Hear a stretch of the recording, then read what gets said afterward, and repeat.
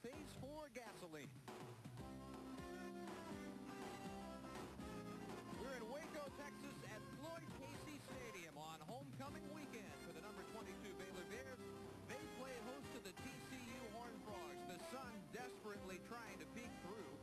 We have already had some light showers this morning in central Texas, and the forecast is it may reappear throughout the afternoon.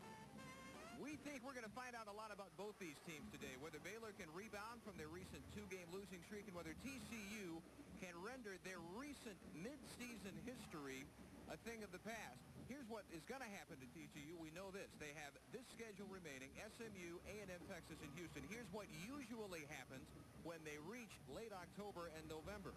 Dave, how can they make a different this year? Well, Dave, the first thing they can do is have a better attitude, and they do have that. They're saying, hey, these records were from former players. Don't judge us by this tradition. Just look at our schedule after November, what our record is. One reason I think they have that confidence this year is after Clay went down to quarterback, little to no drop-off with Tim Schade. I think that's the most amazing plus for TCU this season is the fact that Schade has come in, and as you say, no drop-off. Great poise as he stands back in the pocket.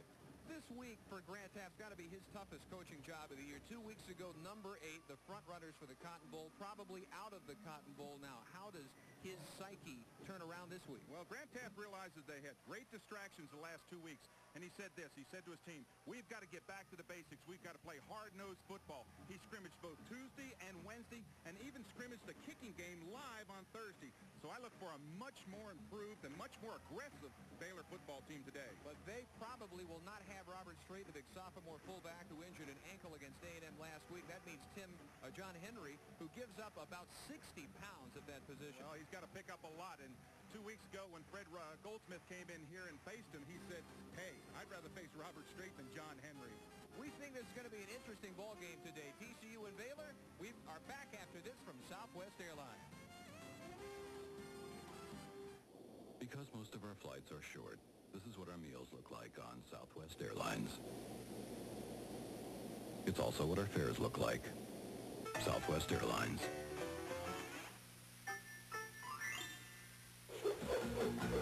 Southwest Airlines has one of the best on-time records in the country. Mr. Smith, you're early. Just something to remember. Southwest Airlines.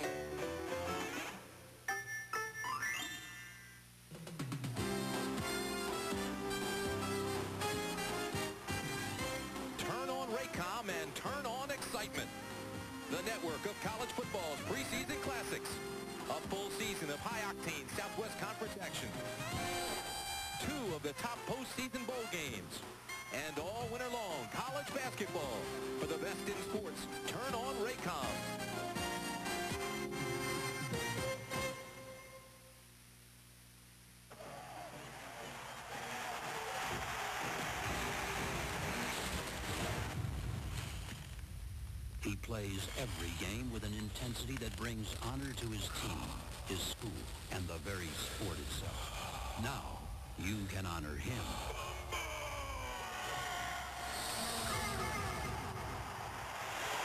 Stop at Exxon and vote the best players under the Exxon Southwest Conference Supreme Team. Homecoming crowd expected to near the 40,000 mark at Floyd Casey Stadium. It holds almost 49,000. Deep receiving for TCU, Toby Morey is on the left, and true freshman Jimmy Oliver from Dallas Adamson is on the right. Jeff Ireland, the senior from Abilene Cooper, will kick off for the Bears. And with a strong south wind behind him, he puts this well beyond Morey and the Frogs will set up first and 10 at their own 20 behind redshirt freshman Tim Schade from Pekin, Illinois. 30 of 47 at Rice last week. The season numbers you see. And the most impressive number is that 66% completion rate, which leads the Southwest Conference. Along with Schade, the offensive unit in our NCNB starting lineup for the Frogs, David Lewis gets the start at slot back. Richard Woodley, great receiver at that position, out three weeks with a fractured left elbow. Breedlove anchors the front line. And maybe the best receiving crew in the country for TCU. They go on the ground to Curtis Modkins, who this year, like last year, is fourth in the Southwest Conference rushing stats, 893 yards a year ago. Here's the front line that he will face for Baylor, as always led by Santana Dotson, the Lombardi and Outland Trophy candidate from Houston Yates. Le'Shai Maston, the junior from Dallas Carter, who leads with 75 tackles this Baylor defense, and Keith Caldwell, the free safety with three interceptions, will be a very busy man today, as will the entire secondary for Baylor. All day for Schade. Finally, it's the tight end, Kelly Blackwell, and he'll have the first down at the 34-yard line. Blackwell, possibly the best tight end in America, the senior from Fort Worth, Richland. And let's check our Southwest Airlines team must for TCU. Well, TCU can read the blitz and give Schade time, they feel they can go long and burn it, Dave. TCU also must control both the pass rush and the strong rush of, rush of this defense to win this football game. And most coaches complain about a team that nickels and dimes them to death, but Jim Wacker would love to see a team nickel and dime because he knows he's avoided the big play. Frogs came out in the bone that time, and they split three receivers left and give to Modkins on the draw play, which fooled no one and picked up at most a yard. Modkins, a junior from nearby Marlin, not recruited by Baylor, and Teaff says maybe I should have. He's turned into a pretty good back. 5'10", 190-pounder will go out. More pressure on his shoulders today without Woodley and also without Derek Cullors, who has been an outstanding freshman, almost a designated scorer for TCU. Four games of two touchdowns for Cullors. He's out for maybe two, three weeks with an ankle. Again, Schade, plenty of time, and he throws incomplete, intended for David Lewis. Lewis replacing Woodley, who was out three weeks with a fractured left elbow. Those two costly injuries in the Frogs' victory last week over the Rice Owls. Well, Grant Teaff approaches this game saying this team is in a very fragile state. There's no question that TCU is the game of the year for Baylor right now. I think that was emphasized by the fact that he scrimmaged twice this week, Dave. You just never do that during the regular season. Third and nine. Here comes the Baylor blitz and Schade incomplete in the general neighborhood of Michael Jackson, but a flag is down. Oh, and if you're Baylor coach Grant Teaff, where that flag was thrown, it is almost always roughing the quarterback. He will not like that one. That was on a third and nine. And the Frog drive remains alive. Defense, first down. Well, you saw what Grant Teaff thought coming into this game. Wacker said not the biggest game in the history of the world, maybe for Baylor, the way Grant's talking. But is he, he says they're not looking at it that way. Do you think he is uh, whistling through the graveyard right I, I certainly think he is. When I was in his office yesterday, I mean, you know, he's one that shows his emotions all the time. He said, this is high stakes. This is big. I mean, you know, he had the arms flailing around. So he knows the importance of this game also. Schade audibilizing with nobody behind him. And again, the Bears blitz. The blitz is burned. Kyle McPherson to the Baylor 38-yard line, the sophomore from Tomball. Dave, one of the things that they have got to do, we talked about, was picking up that blitz. Le'Shai Maston is the expert at that. He comes from the outside, and you see Modkins come over and pick him up. That is going to be a big factor today if they can avoid having that flash in front of Schade's face that linebacker coming in there and pressuring him. 20th catch of the year from McPherson. First and 10 Frogs on the game's opening drive. And a fumble by Cedric Dickens still rolling to the 32-yard line where Baylor recovers. That is Frankie Smith, the right corner.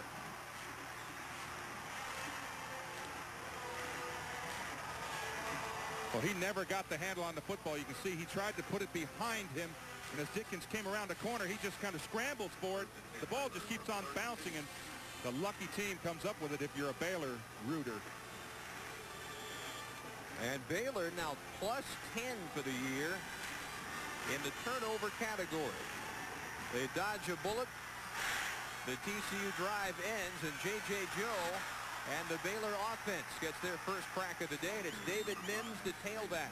Up the middle, Joe, the sophomore from Arlington Lamar, who was all-world until last week. Only 7 of 19 for 70 yards and an interception against the Aggie defense. At one time this year, the nation's top-rated passer, he's still eighth among the nation's quarterbacks and still leads the Southwest Conference. This is Henry's first carry of the day and the replacement for Strait. The sophomore from Lorena will bring up third and about two or three. Brad Smith, the middle linebacker. On the tackle, the Baylor NCNB starting lineup. Henry, as we said, 187 compared to Strait at 245 at fullback. Adam Arroyo under the microscope today. He blocks the fine defensive end for TCU, Roosevelt Collins. After the plunge by Henry, it is third and three. Baylor a good third down offense this year. And on the option, Kendrick Bell, a true freshman who was just this week elevated to number two tailback, appears to have the first down. Anthony Hickman on the tackle. Let's look at the Frog defense. Collins, we told you about, who Teaff thinks may be the premier defensive end in the Southwest Conference this year. Senior from Shreveport. Reggie Anderson, the sophomore, leads the Frog defense with 61 tackles. And in the secondary, Anthony Hickman, one of the better pass coverage specialists in the conference. First down Baylor, their 45-yard line. And Henry to midfield. Dave, that up-front defense for TCU, I don't think knew that they weren't going to have to face Strait today. No, I don't think they announced that until just before game time because he came out, I believe, dressed. Now, he may have gone back in and changed, but he did come out dressed. But everybody realized that he didn't practice this week, but it was kept very quiet. Reason I bring it up, you wonder if they let down because they were prepared for that big Harley up the middle, and instead they get a Honda. And on the ground where Joe manages a recovery at the 47-yard line, one step ahead of Tunji Bolden. The Baylor Southwest Airlines team must. Well, Grant Teaff wants to turn his team loose and play hard-nosed football in every area. They've lost all their confidence in the kicking game. They're 0-4 on their last four field goal tries. And Robert Strait with that sore ankle, they hope that his replacement, John Henry, can pick it up. And he's got to do it to win. Those are today's Southwest Airlines team must. After the fumble, third down, eight needed. Five minutes gone in the opening period from Waco. We'll call it a long seven. And Joe with the short drop, incomplete. He tried to hit David Mims circling out of the backfield against Tony Rand, and the Bears will have to kick it away. And that means Kent Brentham, fourth in the conference at nearly 40 yards per kick. And it also means Anthony Hickman, second in the conference at 13 yards per return. This TCU return game, punts and kickoffs, the best in the Southwest Conference.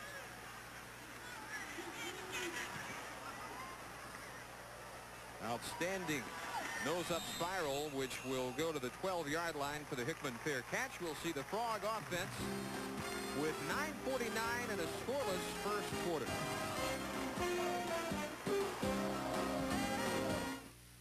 Wouldn't it be great if you invented magic recliners that took you anywhere?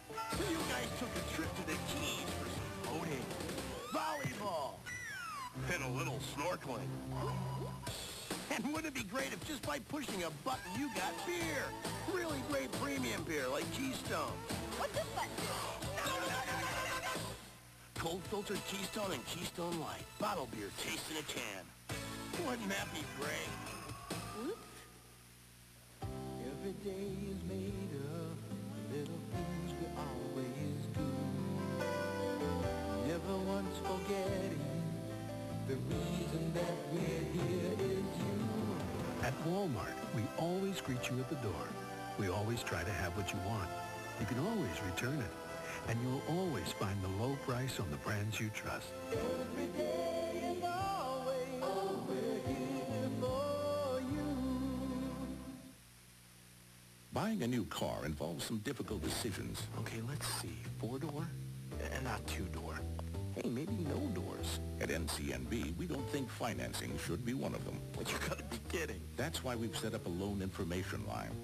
Call with your questions or stop by and see a loan specialist. Way too fast. Then move on to the really difficult decisions. Okay, red. No blue. Maybe white. 1-800-ASK-NCNB. Two-tone? The loan source. Well, we're lucky we're not playing this game in flooded Fort Worth. We had some light showers a couple hours before kickoff today as we checked the Dr. Pepper scoreboard for the first time. And uh, now partly cloudy conditions. The breeze still very much a factor, and it's in the face of the TCU offense. They take over at their 13-yard line and send Kyle McPherson in motion. And on the draw play, Modkins tries the left side for about five yards. Modkins not big at all. 5'10", 190, about Trevor Cobb's size. Yeah, look what Trevor Cobb does with that same size. Modkins the same type of a uh, same type of runner. I don't think he has the explosiveness that Cobb has once he gets through the hole, but Modkins runs under control and makes good cuts. They always want the mom and dad to send money. You notice that? Schade again with the audible, and again, nobody behind him. Four wideouts, all right. And under pressure overthrows Lewis, who is easy to overthrow at only 5'9". Make it third and five. Schade at 6'5", 220 is gonna, as Wacker is aware, see more than a few blitzes today. But if anybody is physically prepared to undergo that type of onslaught, it's Shea. Just consider the only linebacker who outweighs him for Baylor is Happer. He's bigger than the other two. And he has changed the play at the line on just about every down. They almost run out of time on the play clock, and so they'll burn a timeout with nine minutes remaining in the first quarter. Shades Unless Jim Wacker ready to decide a third and five strategy.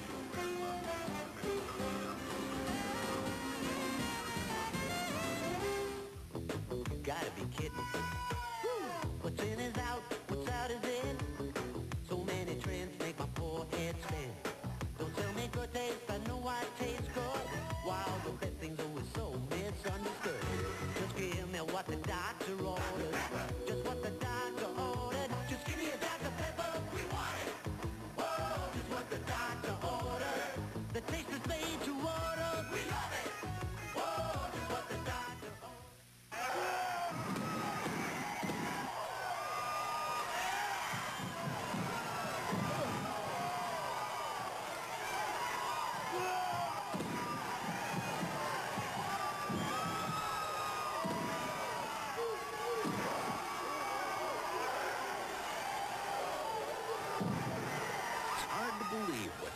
folks will do when they catch somebody trashing Texas highways. Don't mess with Texas!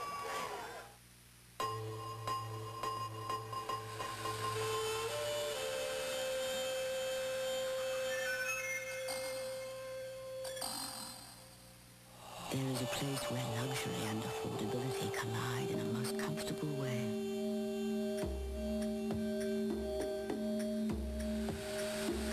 where the charm of a romantic fishing village meets the luxury of a paradise resort. The one place that's two places at once. Ixtapa Zihuatanejo. Horn Frogs have made their decision on third and five from their own 18. And they send Modkins in motion. Virtually every play, Schade the freshman having to audibilize. And beat a blitz. Overthrown, intended for Stephen Shipley, and that is not easy to do. Shipley at 6'5", as is Schade, and the Bear defense getting a hand. Well, one of the things that Schade has got to recognize, as we said, is the blitz. Baylor, on the other hand, has to disguise the blitz, and they did a good job that time. He did not make the adjustment to that one back back there helping him, and Baylor blitzed and hurried the pass. Frogs have changed punters recently. They've gone from true freshman Mitch Ashley to sophomore Trey Beacon. And it is Frankie Smith at the Baylor 44 waiting for the kick, which is not a good one.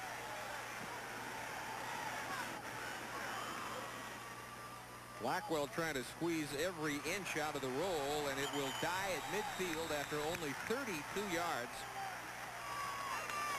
This may surprise you. This is the third most played series in college football. Minnesota, Wisconsin, and Missouri, Kansas, the only two that have seen more than TCU and Baylor have met. It goes back to when TCU was in Waco. There's, there's your little known fact of the day. AddRan College, where they moved up to Fort Worth.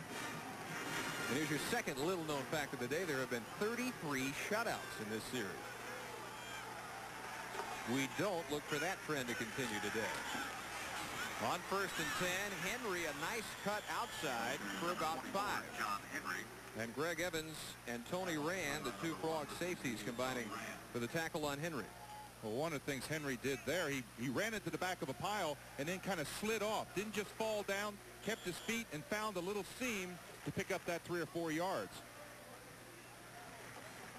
We've seen Henry go deep this year. He burned Rice for a 64-yard score, which looked at the time to be the touchdown that might turn that game in Baylor's favor. Didn't happen. Rice pulled the upset, and you know the rest. This was Henry again stuffed for maybe a half yard by Reggie Anderson. The TCU tackling leader at weak side linebacker. Glad to have Prime Network with us again this week and its nationwide family of regional sports cable networks. Baylor looking at third down and six. 7.38 in the first. Miles and Miller both wide right. Bonner, who has been slowed a little by the defenses he's seen the last two weeks, is wide left. And a draw play to Mims had to cut back to have a chance at the first down, and he would appear to have it. That is nice vision by the junior from Daingerfield, and again, Anderson on the tackle. Absolutely a great choice in there. He ran into the hole. A linebacker came up and was going to make the tackle for a loss. Watch this. It's a little delay. It's a delay draw. Now he runs up in there. See the linebacker sliding right there. That's Brad Smith. Now he's got him, right? No. Watch Mims' adjustment. Back outside. And once he gets out inside, he uses that speed, makes a good cut underneath to come up with the first down. That's a great play. Mims looking better after only four carries with a bruised shoulder problem, limiting him a week ago. Henry limited to a couple. TCU physically should have a better than even shot at slowing down these these thrusts up the middle. They have Lewis at 295, West the other tackle at 273, and Smith a big middle linebacker at near 250. And the first part of this option, Dave, that you've got to stop is stopped by those players that you mentioned, the inside people. The drop-off from Robert Strait's size to John Henry's, as you said, is 60 pounds. That's got to have an effect. Bell, the tailback, Mims getting a breather. And Pearson motion as Henry reaches the 34. Smith and Anderson combining for the stop. And again, a third down for Baylor. You know, this week, the when they practiced in scrimmage Tuesday and Wednesday, all the offensive linemen started wearing these diesel-powered yellow hats. And that's what they want to play football like, diesel-powered. Monty Jones came into Grant Teaff's office the other day and had one of those hats on. You got to have a slogan in college football today.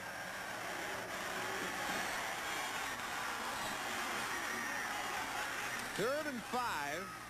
And Joe will keep for the first down to the 28-yard line. Another Reggie Anderson tackle. He's been in on virtually every stop on this Baylor series. Well, Big John Turnpaul has a big influence on this front offensive line. He slimmed down to about 295. Look at the drive block. Just keeps those legs going and just collapses the defensive lineman in there. Baylor will use the timeout. Timeout, Baylor. Five minutes and 31 seconds to play in a nothing-nothing first quarter with Judge on hand as always. Ladies and gentlemen, the Ferrell Center. I think John Turnpaul might have gotten hurt on that play. He looks like he's coming limping to the sideline. A Little bit on that left side, looks like. Well, you know, one thing that happens with AstroTurf or, or artificial surface is when you get a rain on it, it becomes very slippery. And they had that early rain just before kickoff, and it's still on the field. What would you, as a player, rather face, a slippery AstroTurf or muddy grass? Well, I always like playing on grass. Grass gives, and you don't get hurt on it. You don't get those ankle injuries that you hear so much of in, with the turf, artificial surface. But one thing that turf will do when you get really bad rain and that type of weather, it's a very it's an equalizer in that it gives everybody good traction. You saw Joe's numbers in this game a year ago. This is the game that turned TCU season south. It was the game in which Leon Clay broke his hand. And like this year, they came in at 5 and one, but they didn't win a game after Clay's injury. Now they have already won after Clay's broken leg this year. Big difference. They know they can do it. Bell and Henry in the eye. Henry going to be a weary man when this day is done. And again, the Frog middle three, Lewis, West, and Smith. We're ready for him. You mentioned Thomas Lewis in there. They, they list him at six foot 295 pounds. But they say they list him at six foot. Jim Wacker said, we just try to make him feel good by listing him at six foot. He's probably 5'10", 5'11", maybe. I'm betting three pairs of socks and cleats. he is six foot. On the reverse, here comes Miles. And Anderson ready for him again. When Miles took that handoff, it looked like a huge gainer, but Anderson read it perfectly. Well, Roosevelt Collins almost got his lights knocked out on that reverse. He's the upside upfield containment on the play, and when they came around, one of those big offensive tackles just peeled off him. Anderson made a great recovery to stop it for a short gain. 61 tackles for the year coming in, double figures for their first six games for Reggie Anderson. And what Baylor wanted to be a big gainer was not. It's third and a long four, and Joe under pressure. Complete, but no first down. It was Kendrick Bell out of the backfield. And the true freshman from Tyler will bring up a decision that Teaff does not want to face very often today. No, he certainly doesn't. He sends in his field goal kicker, but one of the first things he said to us is we're 0 for 4. Our last four attempts we've missed. This is one of those ones where you want to see your field goal kicker kick it right straight through. You run out, shake hands, congratulate him, and off you go. But you always have to watch the fake. Watch Brentham. He was a high school quarterback. And at this spot on the field, they may go for a fake on fourth and three. This would be a 38-yarder.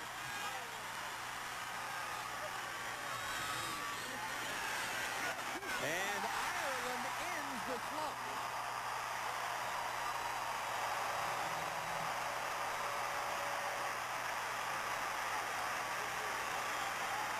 He nailed that thing. I mean, he nailed it.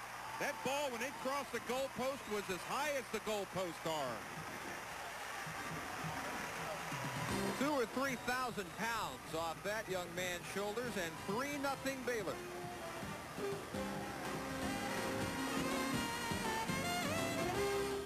There is a new gasoline that is clearly advanced. A new gasoline that will give you the highest level of engine cleaning for high performance. A new gasoline formulated to clean fuel injectors and intake valves. Who has this new gasoline? You know. New Phase 4 gasoline from Exxon for cleaner engines and high performance. Larry Csonka, three straight Super Bowls. After that, he went to sea.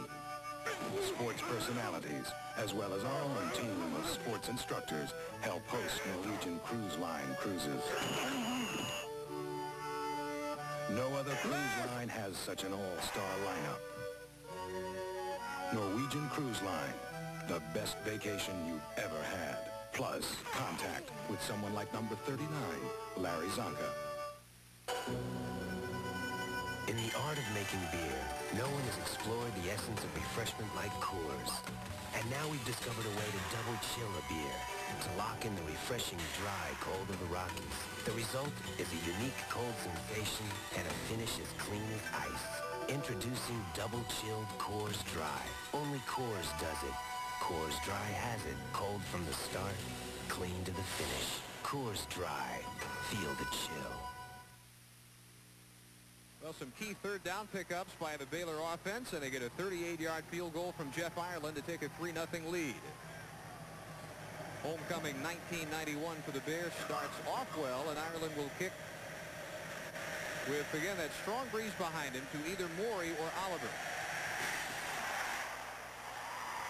Or neither. And again, Frogs will go from their 20. What does that do psychologically for Jeff Ireland? Well, that's what I was saying. You want your field goal kicker to go out there. You want to see him drill it through, and he did. He didn't take a chip shot at it. As you said, he had a lot of pressure on him, but when he came to the sideline, everybody was high-fiving him, taking the pressure off. Look at them. They're still, they're still talking with him. Of course, three misses against Rice and a three-point loss.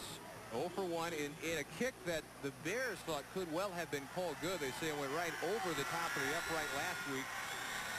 And those four misses following a 58-yard make against Rice.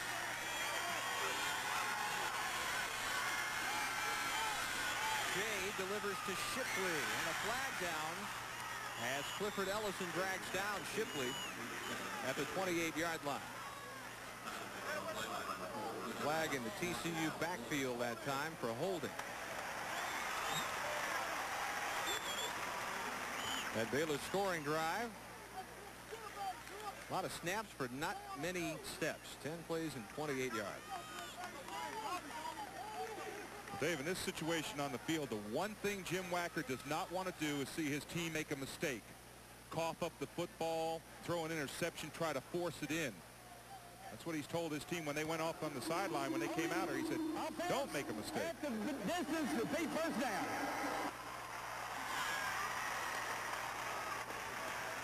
At the conclusion of today's game, Dave and I announce the Southwest Airlines player of the game. Here's the officiating crew headed by Lloyd Dale this week. 347 and counting in the first quarter. Going to be first and 23 for TCU, and they go safe to Modkins to the nine.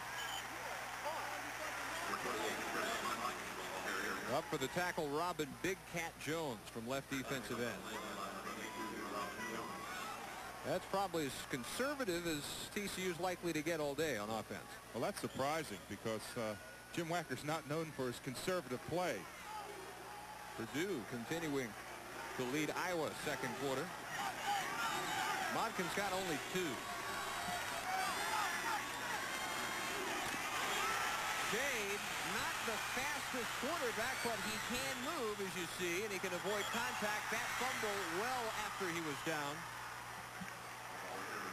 Schade with the slide at the 22-yard line. Well, one thing that Schade does that really impresses me, although he's not a great runner, he sees pressure. He feels it. He's got great peripheral vision. Maston looks like he's going to pick up in the last second. He blitzes up there. This contact and along with Jones on the outside is going to flush him out of the pocket. You see how he reacts to that pressure. He finds a nice little seam, picks up some good plus yardage. Credit to Benny Scott, the quick guard, for picking up that blitz by Maston and giving Schade room to ramble and make it third and eight.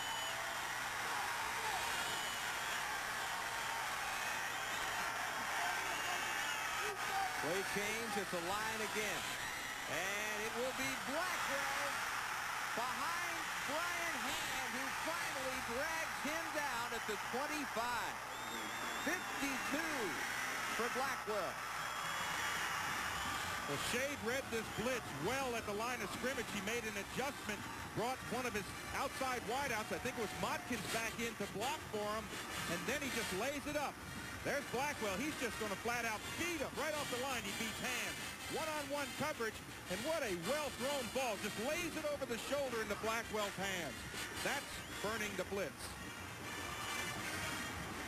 And that's a tight end. Speed, hands, and he is an underrated blocker. And the NFL can't wait to get their hands on it. First and 10, Baylor, 25-yard line. A minute 44 in the first quarter as the Frogs bid to the lead. Modkins hit hard by Keith Caldwell, but will pick up a five-yard. One of the players that we, we've highlighted a lot in our games with Baylor is Santana Dotson, number 77.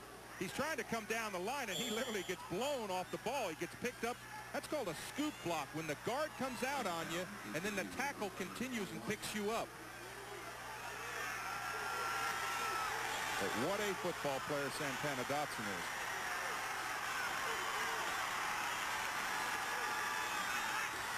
Schade on second and six. That is in traffic and out of bounds. But they say he made the interceptions before he went out of bounds, and it was Michael McFarland. Didn't think he got a foot down, but he did. And Schade pressured this time, threw the ball up.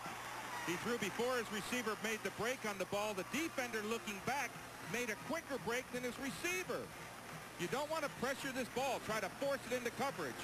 He throws off his back foot. You see the receiver, he's behind the defensive cover. Now watch the foot down right there.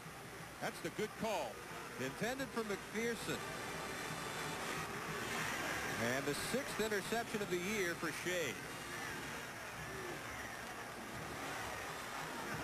So Baylor as close to their own goal line as you can possibly be. The nose of the ball, in fact, may be grazing the white paint on the all-pro artificial turf. With 58 seconds in the first quarter, Joe will try to burrow out what he can, a yard or maybe two. But what a sigh of relief for the Baylor defense. They were looking at maybe 7-3 down at the end of one.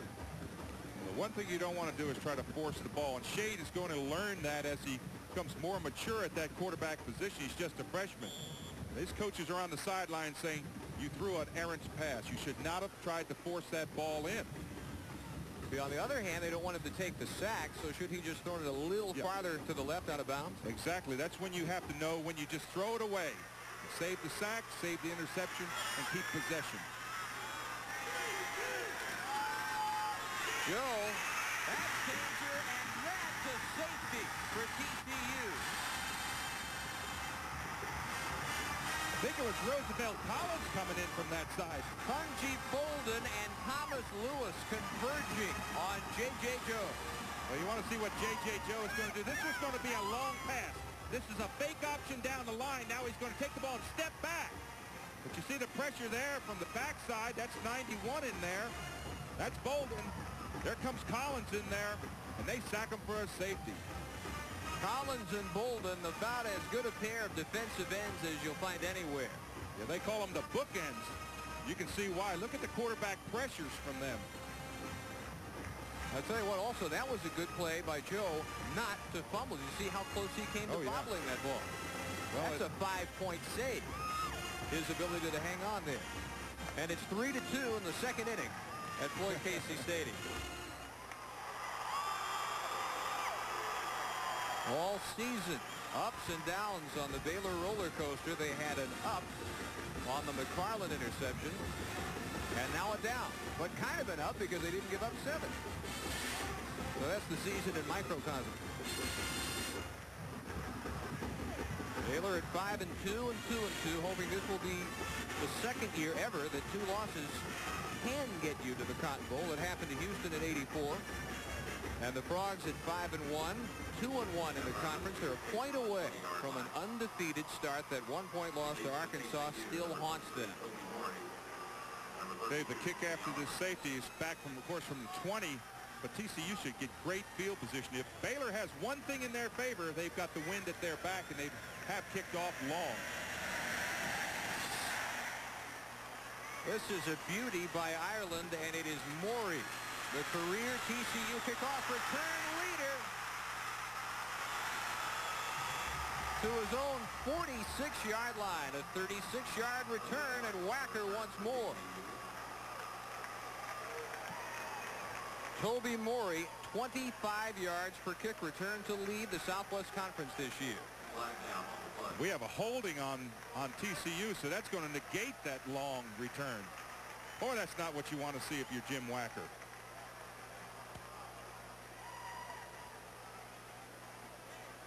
Let's see if we perhaps can see the hold. There's what I think they're calling the hold. Holding on the run back, first and 10.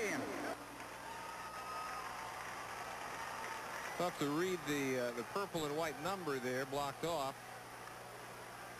But the mark off will have an irate Wacker looking at first and 10 from his 18-yard line with three seconds to go in the quarter. Well, look how far that penalty is. They had the ball almost at midfield, and now they're at their own 18-yard line. You're looking at about a 30 to 35-yard penalty. 28 yards is what they lose. Gosh. Out of the wishbone to the one back with Machin. Schade got away from Albert Fontenot and delivers short intended for Shipley as the first quarter comes to a close. Well, it's been a weird year. Why should today be any different? 3 to 2 Baylor at the end of one here in Waco.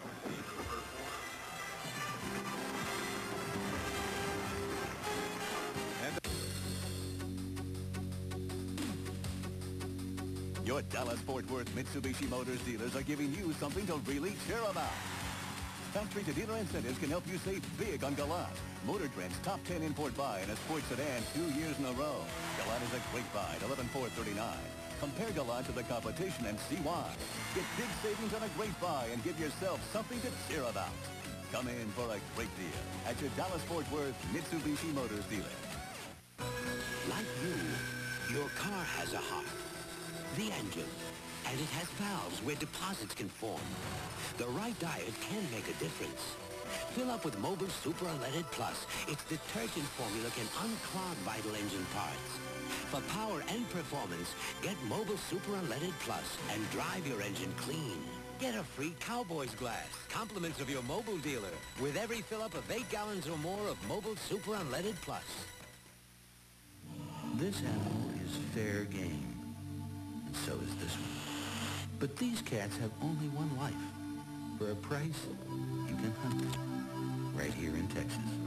Some of these cats are raised for the hunt, making big cats big bucks. But animal rights groups cry foul. Wednesday, News 8's Bill Brown takes you inside this unregulated Texas industry in search of fair game, beginning Wednesday at 10 on the News 8 Update.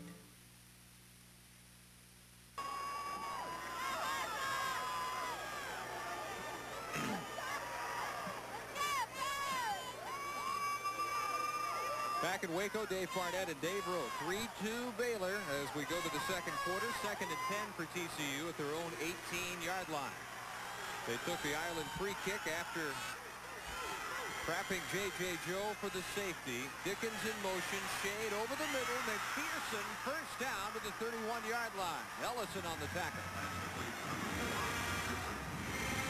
McPherson third on the team. 19 catches coming in and a couple this afternoon. Our first quarter numbers look this way. Baylor with only two passing yards. That's the number eight passer in the nation. Held only two. And 110 to 47. But the TCU threat that ended in McFarland's interception, the reason they trailed. Modkins for no gain. Maston came up in a hurry, as did Hafford. Weak and middle linebackers, respectively.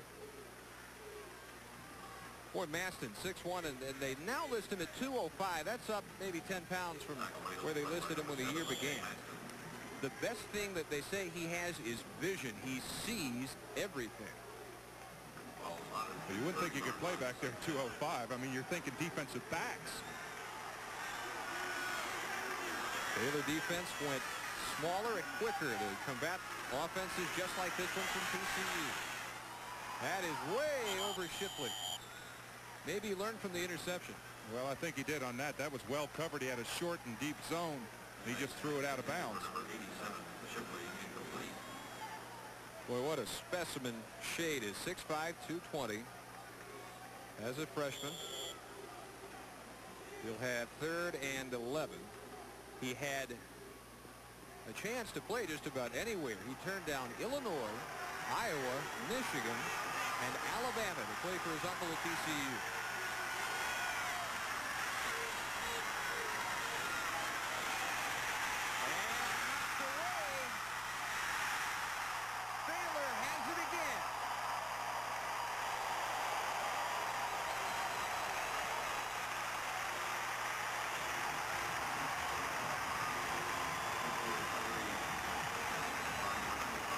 Dave, you're going to see an interesting play on this ball. What they did is they came all the way around the outside.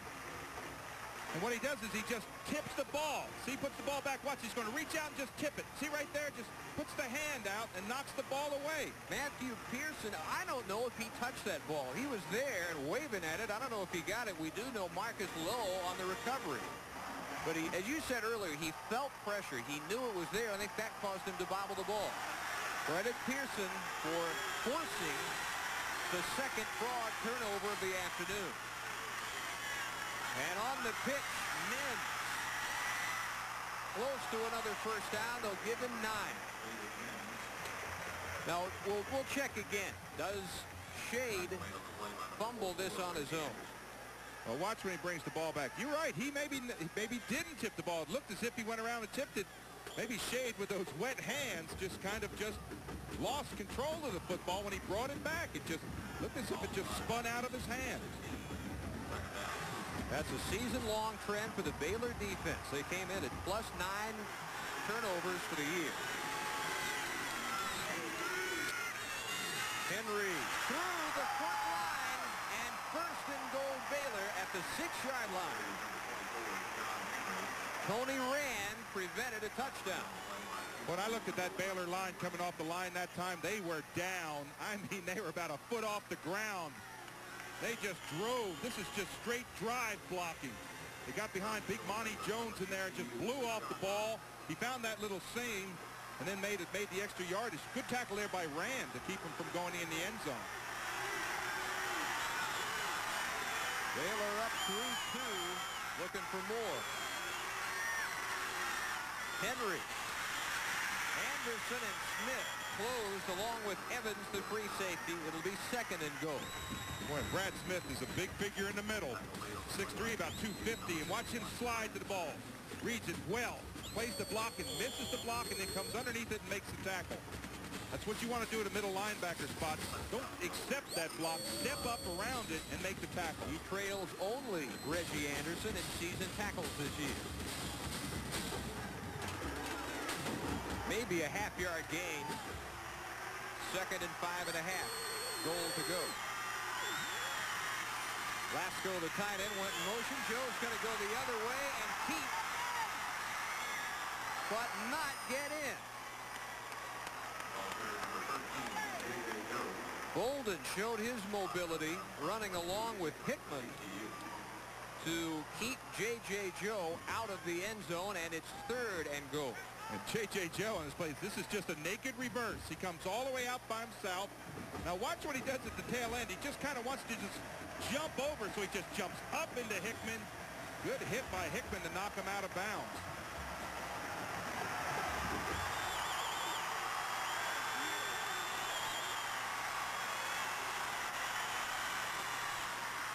John Henry did not get in.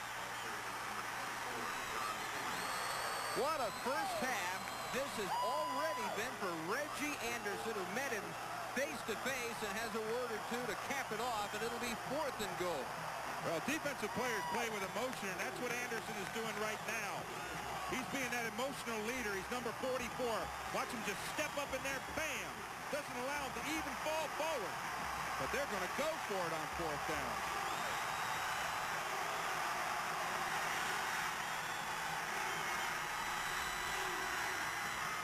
Joe, touchdown Baylor.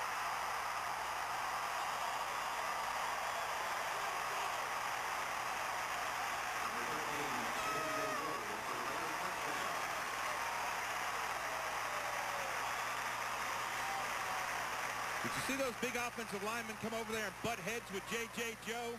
Boy, that's like a pat on the back that you just can't believe the emotion there. You come over, you butt heads. It's like saying, hey, you're one of us. So 9 to 2 Baylor. Ireland on for the extra point. He is 22 of 23 for the year. There's by eight. Joe set this up by handing to Henry on the previous play, and that's what the TCU defense looked for again. Well, they had it stopped there to Henry, and Joe just makes a nice cut underneath. But that's all his play. When he reads that fullback is going to get touched, he's going to get tackled, he pulls it out and goes in the end zone himself. There's cash in another turnover. We're back after this from Southwest Airlines. Ever since Southwest Airlines introduced our Friends Fly Free sale, people have gotten friendlier. Sugar Plum, your favorite pillow. If you make reservations and buy your round-trip ticket at our regular low unrestricted fare by October 31st, a friend gets to fly with you, free. Hey, Dad, seen the head shimmer? Now you and a friend can travel through February 29th. Here's that putter I borrowed last year. Oh, buddy. Southwest Airlines Friends Fly Free sale. It's great for your pocketbook and your popularity. Most of my friends don't know what they're going to do after graduation, but I've already locked in guaranteed skill training in the Army. Qualify now and you can reserve even the Army's most sought-after technical training up to 12 months in advance through the Army's delayed entry program. Sure, being a soldier won't be easy, but then nothing worth having ever is.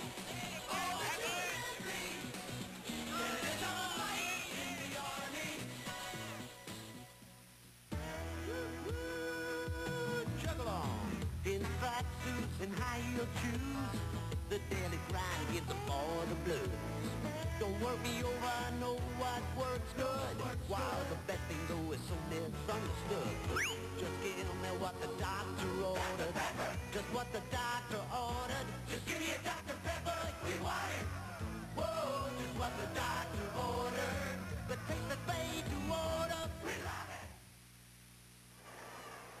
Here's today's game tracer brought to you by the Schick Tracer. Bolden and Lewis shacked uh, J.J. Joe for a safety, but TCU has had the turnover bug bite hard today. Baylor with the Ireland field goal to end his 0 for 4 slump, and it's 10-2. With 11.41 in the first half, Baylor by 8 on the Joe keeper. About as well as you can fake up the middle on the option and Joe waltzing in to make it the Bears by 8. Into the win, which has died considerably. Oliver, the true freshman from Dallas Adamson. To the 28, 29-yard line. And TCU has uh, shown their ability to move the ball but not hang on to the ball today. Well, you know, Dave, every team has a headhunter. And this is Baylor's headhunter. Watch what happens to him. They know he's the headhunter. In other words, he's the one that comes down and usually breaks the wedge, makes the tackle. And he just kind of gets shoved out of the way. Look at him. See? Hey, that's a clip. Lance Marburger pleading his case. Schade deep drop, shovel pass, and a flag. It's intended for Modkins, and Tracy Miller argues, hey, fumble. See what Lloyd Dale called. He was uh, looking at Dotson sacking Schade as he threw that flag. He's probably going to call it intentional grounding, but what it was going to be was that little underneath shuttle No pass. foul, no foul. There was an eligible return. He didn't see Modkins at first, but he was there. Modkins was the one who had kind of snuck up into the line, and then they were just going to, like, underhand shuffle pass it to him. Now watch, see, you want the pressure. Now you, what you do is just flip it underneath. There's Modkins, and he's getting destroyed in there.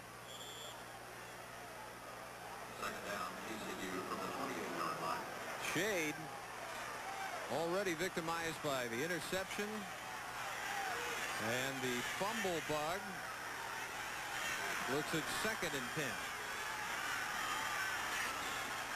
And that one thrown behind Michael Jackson. That's the Woodley spot again where Lewis started. Jackson has not caught a pass this year. Caught 42 two years ago. And then has been slowed ever since by leg injuries. And for the highest percentage passer in the conference, 4 for 12 says something about what Baylor's done to him. They put a lot of pressure on him.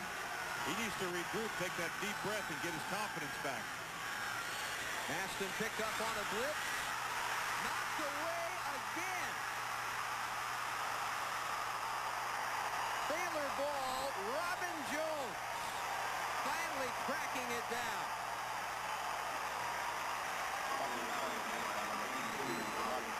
But Dave, he may have had eight seconds to pass against Rice, but he has got to realize that you're not going to get that much time to stand back there and pick up wide receivers. And he just, this is his fault. He just, you can't come all the way around the outside and expect to make a sack. And that's exactly what Baylor did because Schade took too much time in there. Pearson runs right over top of the ball. He had a chance to pick it up. Jones caused and covered that fumble. Well, not, anytime an offensive lineman takes the defensive lineman all the way around the outside, you never expect a sack from that from that type of a rush. Baylor first and 10, trying to add to an eight-point lead. Mims takes the pitch to the 15. And wherever the ball has been today, Reggie Anderson has been. He may have double-figure tackles by halftime.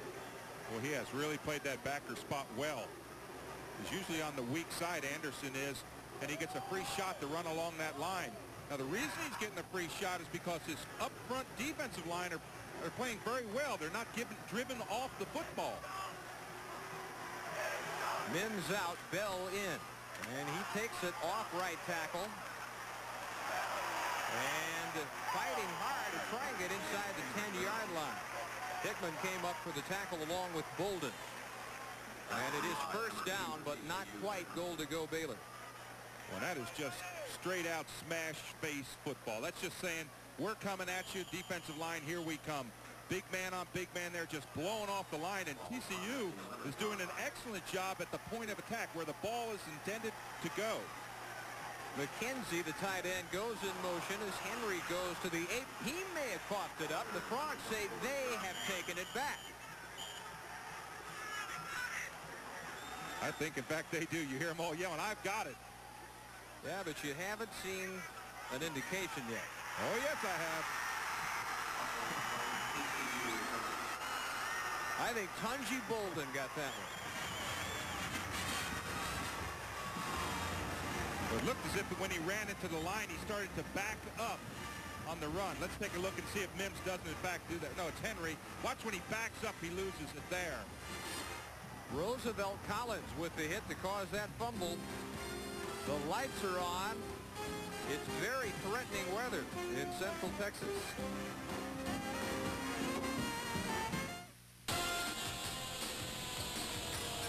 Always exciting, always something new. Always an adventure, always something to do.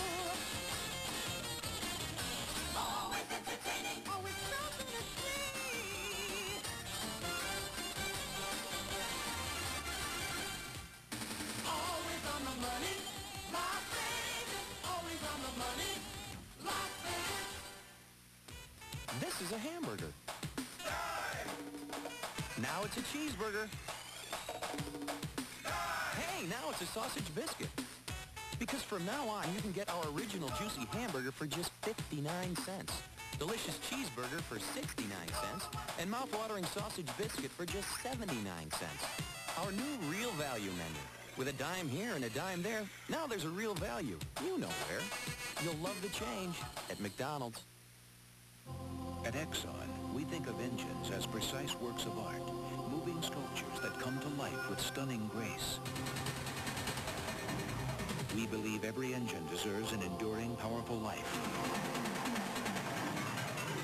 We believe every engine deserves a motor oil that offers uncompromising protection for a flawless performance.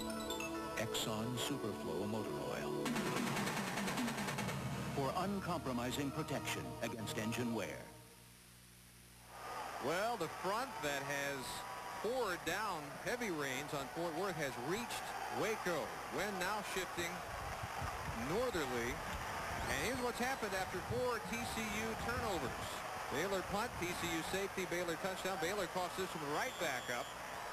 And from the nine-yard line, TCU still down by only eight. We have 10-11 to play in the first half. Modkins, Matthew Pearson will drop him for a loss at the five-yard line. And if I'll tell you this, if Schade had any idea that he would pass, he can't pass now, Dave. There's got to be a 40 mile an hour wind right now coming straight in his face. Look at the camera shaking, taking the picture across the field. And we can't get our windows down. Ah, homecoming, just as I remember. Boy, this is serious wind. And incomplete. Intended for Lewis. Bring up A third and 14. Boy, I can't emphasize how the wind has changed. It was strong out of the south. It is right in the faces of the TCU offense and us, by the way. Uh, from that vantage point, you see, out of the northeast. And we, we can see from where we are up here some rain northeast of us. It may uh, hit here in not too much more time.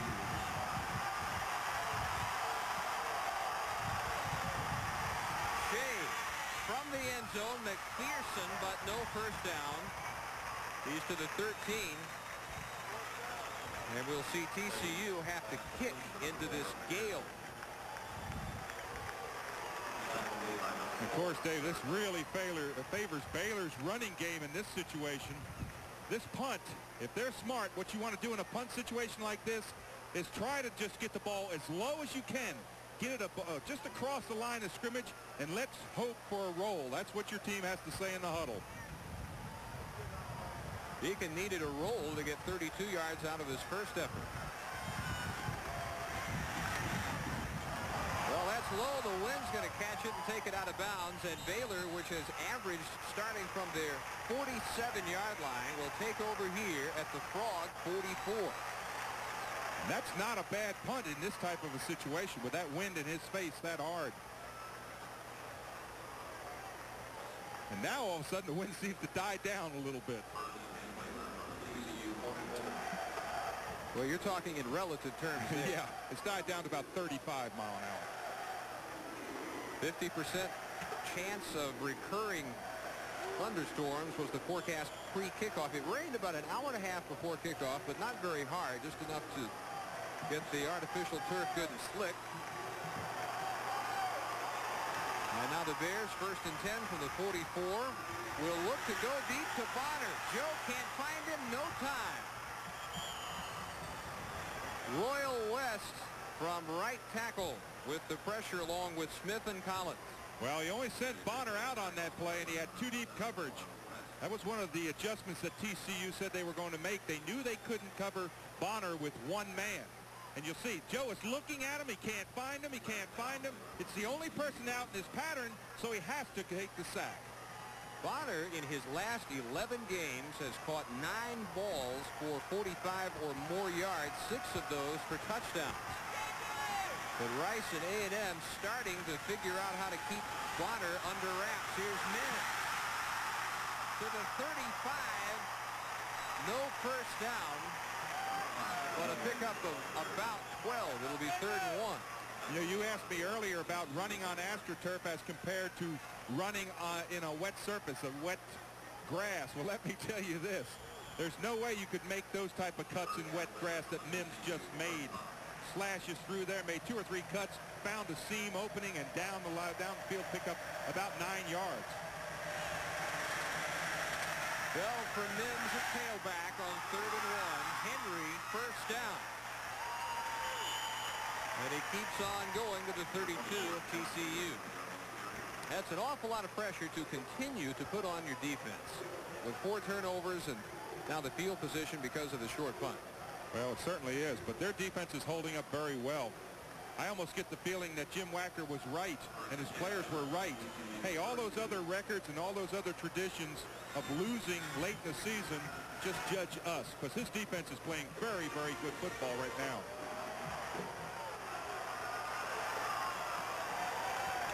Miles wide right. Pitch to Bell. They really like this freshman. He got popped by Collins and still manages a gain to the 25. You can absorb that lick. Then you can play major college football. Roosevelt Collins goes 250. Kendrick Bell goes 160. Boy, it looked like a ping pong ball there for a second, bouncing off of one of those rubber bumpers because Collins just came down the line and bam, he hit him, spun him completely around. They give him seven, second and three. Joe on the pitch to Bell. Ed Galaviz came up from safety. And as usual, Anderson not far behind along with Hickman. And Dave, if you could draw up how to play the option, that was the perfect play, way to play it. Play the fullback, stop him for no game. Joe came down the line, had to hold the ball, late pitch, and they stopped it for virtually no game. Back in is Mims. Bell game one, third, and two Baylor. Under six minutes first half. They lead 10-2 in a turnover plague first half. Joe pitch, Mims, first down, 17, but a flag is down. Oh, and I think they're going to call holding against Baylor. Side judge tosses that one as uh, Mims makes his final cut. I think it may have been on Stutzman. And as usual, you are correct. well, thank you. Thank you. you, uh, you, you have this sixth sense about you about penalties, which makes me figure you must have been flagged more than anybody on the I field. know what every penalty is. I've heard this very often. Holding against the offense. Perhaps we may be able to see Stutzman. He's number, I think he's 88 on the outside, uh, 80, excuse me, and you may see the holding right there. That's what they're calling the holding. Just long enough to let Mims cut inside of Anthony Hickman and cost the Bears a mark off back to the 30. And a first down, now third and eight. The wind at this point is diagonal from the far left corner of your screen to the near right corner.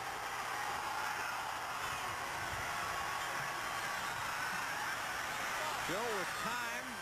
Caught. First down, Reggie Miller to the 11.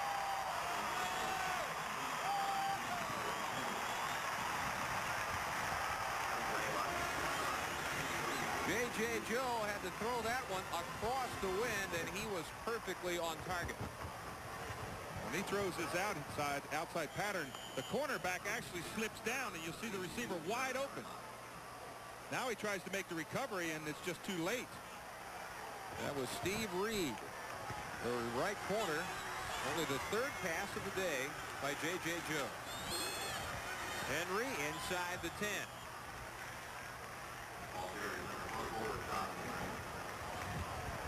Well, here's the, uh, the working conditions of our colleagues and cohorts bringing you today's televised football action. That is not where you want to be. That's Cam on Cam. I'll bet he's really thankful we don't have the crane out here today. Because I wouldn't go up on it. I'm just guessing here. The temperature has probably dropped 20 degrees since the wind turned around out of the north. 423 in the first half. Seven needed on second down. Joe keeps, pitches, Mims to the two. And it will be third and one for the first down and two for the touchdown. Evans on the tackle.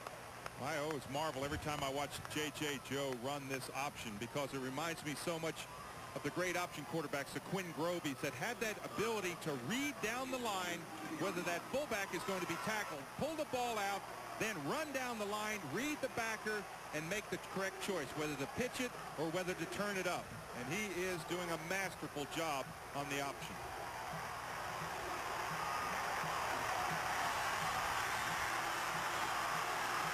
McKenzie in motion. Henry diving for the touchdown.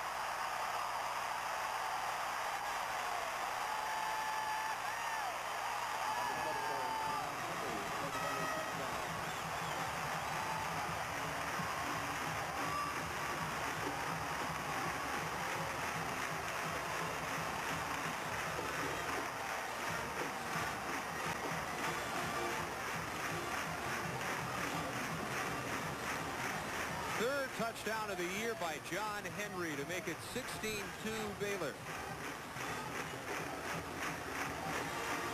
The only official who didn't hesitate that time to throw up both hands, the line judge.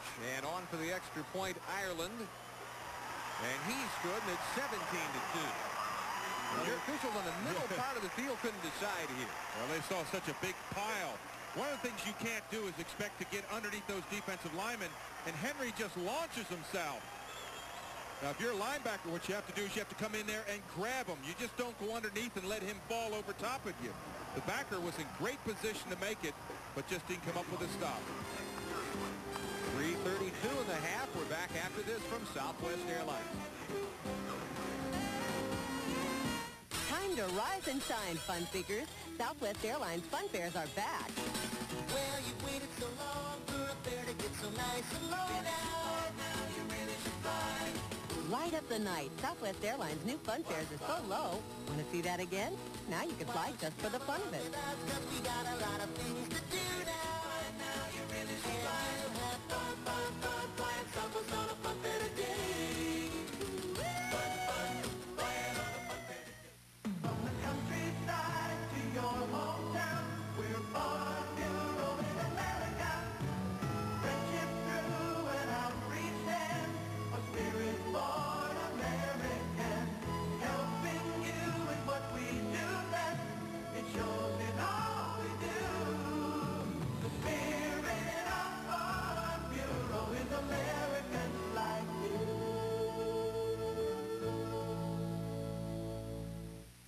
100, 200, 300, 400. The full-size Chevy is not only the best-selling truck in Texas, but has the best resale value in the business. Because with the Chevy full-size, you get more horsepower, more payload capacity, and better gas mileage than the Ford F-150. And you get a truck that looks a whole lot better than a Ford. But the big payoff is the over 2,800 in savings you can get when you buy the full-size Chevy. So see your North Texas Chevy GO dealer now for the truck more Texans count on. Under very, very leaden skies in Waco. Now 17 to 2 Baylor. After the touchdown dive by John Henry with 3.32 in the first half.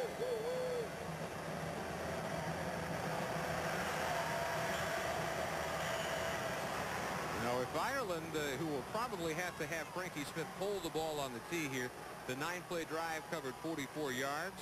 If Ireland can get this one up in the breeze, it may go 90, 100 yards.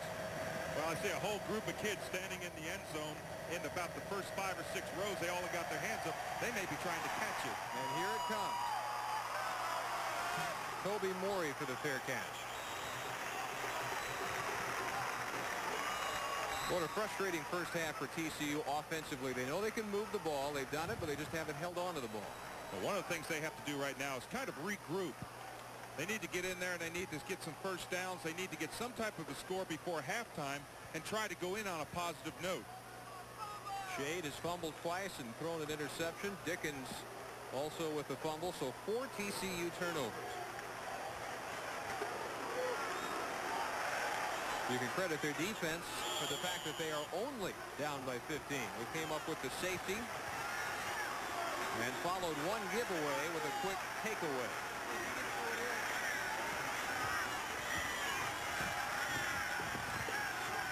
Modkins on the draw play and not much. Teddy Patton closed on him in a hurry. Almost a forgotten man of the Baylor front four, the senior from Cisco. You hear so much about Dotson, Lowe, and Jones that you forget Patton's not a bad player. Certainly is not. If he doesn't make that tackle on that play, Modkins is going to run for 20 yards up the middle. And he might have gotten two. Second and eight. 306 and counting. Second quarter. Frogs lose. They are probably out of the Cotton Bowl race. Blackwell. And drags him down. He has a first down. Kelly Blackwell's third catch. He's got 75 receiving yards. 52 of those came on one grab. Well, one of the things that Blackwell does so well is he does not fumble after he catches the football. He puts it away. Grant Teaff, maybe his biggest fan. He says he is the best tight end in America. Modkins still looking for the hole, and it closes courtesy Albert Fontenot and Marcus Lowe, the left defensive front. Play selection in this situation, Dave, TCU has got to think pass. The runs, Baylor will let them have the runs all day long and hope that they get three, four yards. The clock just keeps on ticking. But you've got to move the ball downfield via the pass to score with only two minutes left. Bob DeBesse, offensive coordinator for TCU. Second and nine.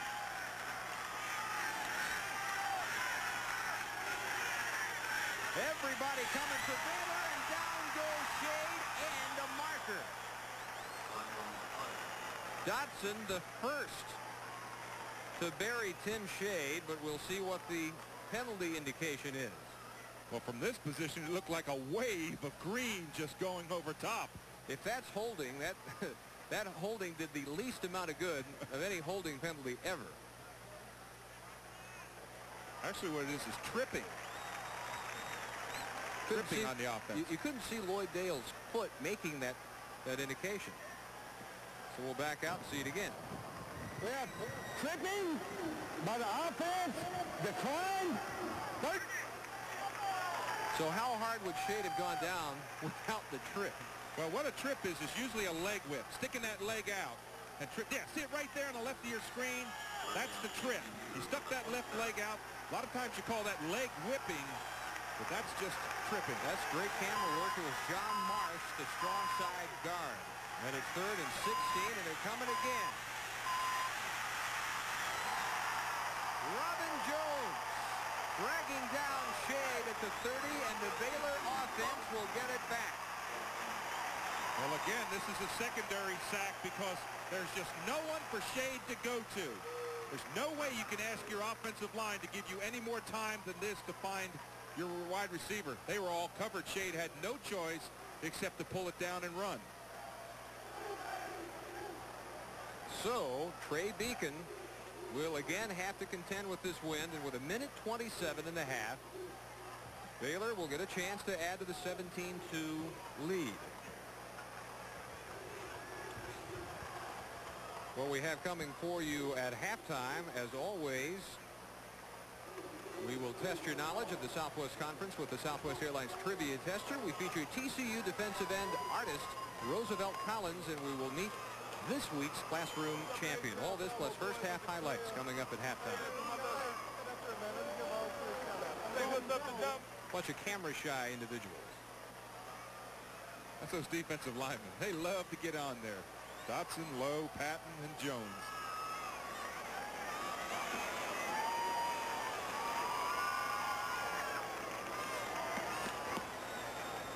Any chance they could do away with that mascot for... Oh, not, he- not an Indian. He's cute. 17-2. Fourth and 14 for Beacon. Lee Miles usually returns punts for Baylor, but today it's Frankie Smith. And this one end over end will get a big TCU hop. Smith touched it, so he's got to field it. Back to the 18 he goes. And a flag as Smith retreated after a 50-yard kick and roll by Trey Beacon. Well, now if the play, if the penalty is against the receiving team, which it almost always is in this situation, you've got a minute and 19 seconds. You've got two timeouts. Plenty of time to stop the ball and perhaps get your best field position in a long time.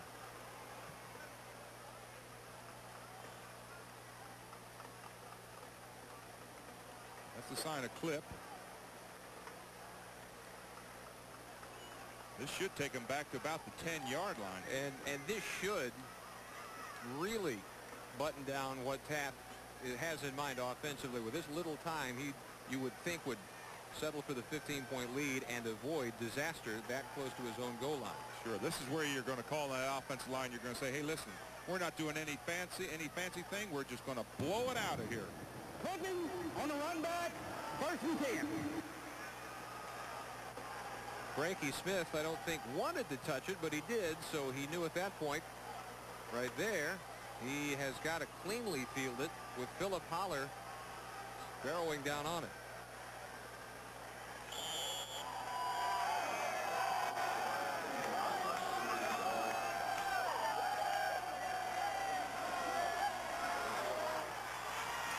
Mims and Lewis are the backfield, and Mims looks for room and finds none. Tunji Bolden with the tackle. Timeout TCU, 108 and a half. Frogs with their second timeout. Baylor has one remaining. Southwest Conference featuring the surprising Arkansas Razorbacks at the top at 4-0. A&M 2-0, and then TCU and Baylor at 3 and 4. Texas still mathematically in at 1-1 at the Cotton Bowl against SMU this afternoon.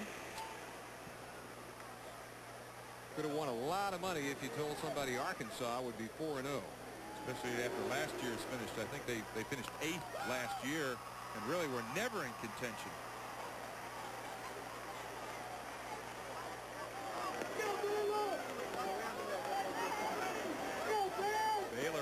Arkansas next week. And the Bears in the surprising position of being spoilers the rest of the way. Look at this experience combined. Teaff and Wacker, the two most experienced Southwest Conference head coaches, 302 wins. The other seven combined for barely one-third that total. Yeah, he, they probably call them rookies. All the other coaches combined. Teaff in his 20th year at Baylor. Wacker's 21st year college coaching, his ninth at TCU. They are the Graybeards in this conference. 108 in the half. As it is Henry to the 10, and the Frogs, you would think would, and they do, burn that final timeout. And that comes with 58 seconds.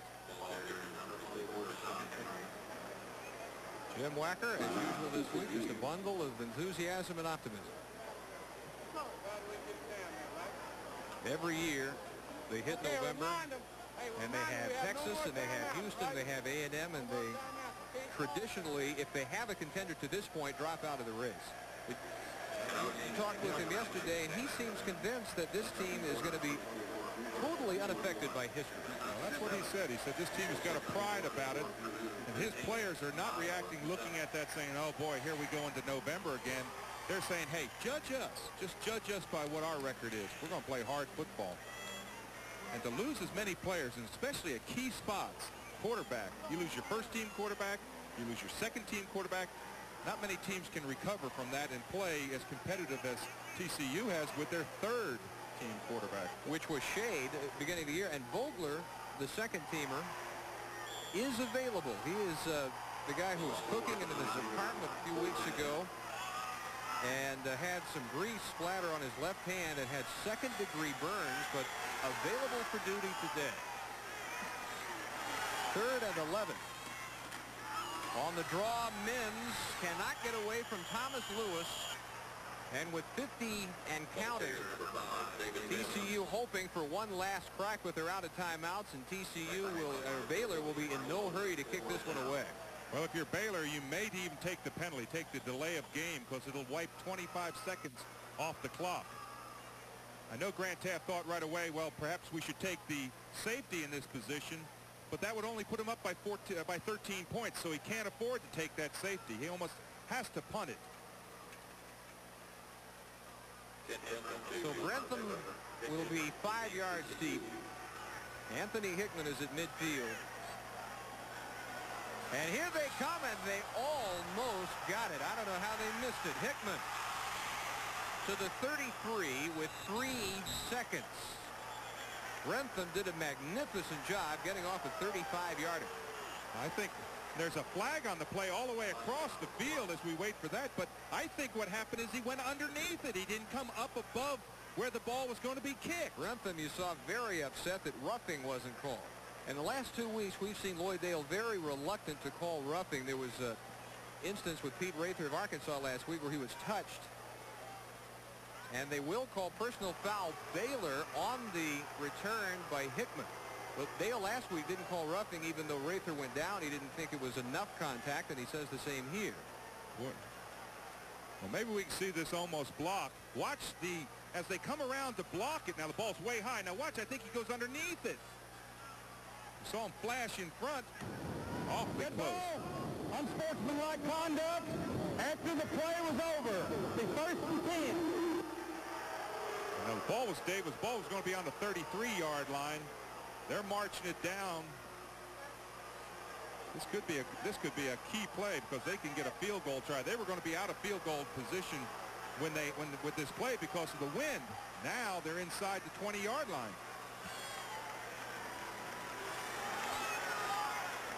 The guy that almost got the block was Angel Alvarez, and as you said, he went right under the punt. They'll have a chance from 36 yards out. Jeff Wilkinson is 7 of 11 this year, along a 47 yards in his career. And he lines it up and no good.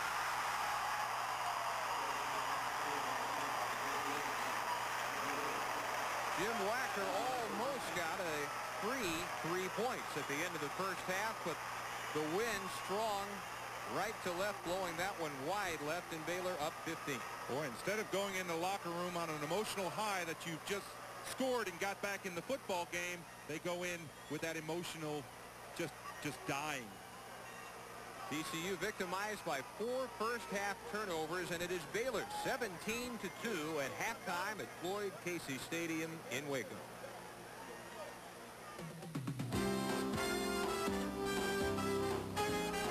Southwest Conference football on Raycom is being brought to you by Southwest Airlines, by Norwegian Cruise Line,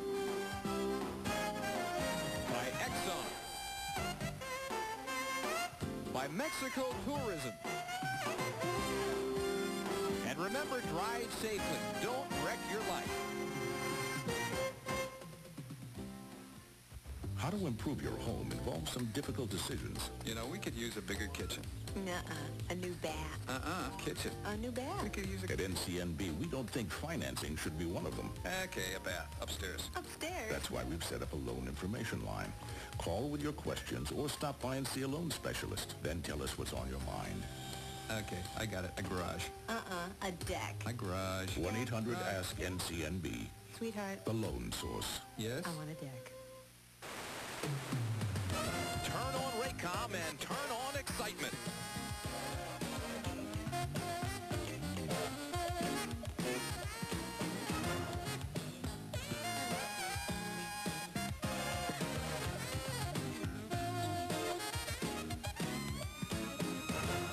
For the best in sports, turn on Raycom.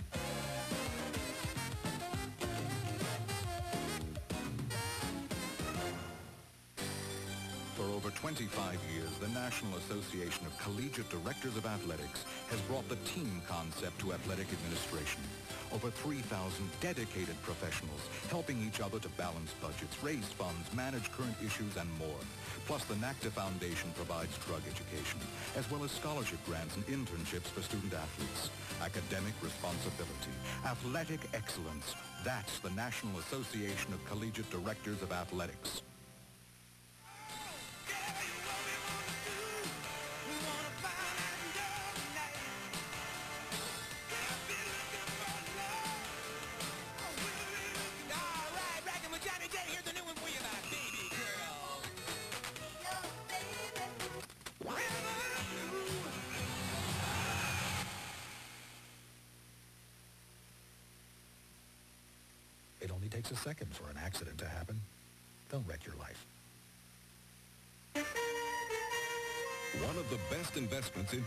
Marketplace is a good education. John. Texas Christian University. A major teaching and research institution where everyone is committed to helping young men and women reach their goals. Texas Christian University, building a bright future for tomorrow's leaders.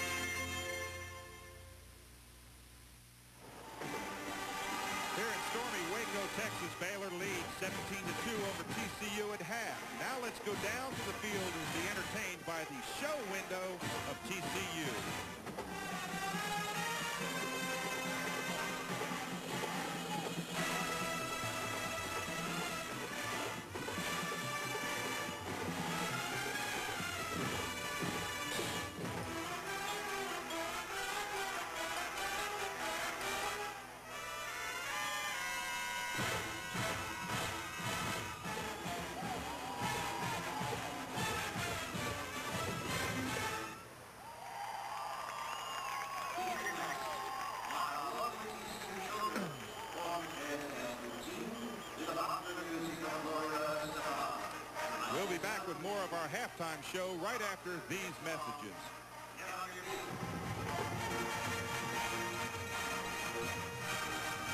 If you're looking for a way to beat those old car blues, your Isuzu dealer's got the right Isuzu for you. It's the right time for year-end savings on selected 91 Isuzu cars and trucks, like the roomy Isuzu Rodeo 4x4, priced at up to $500 off during the Isuzu for You sale.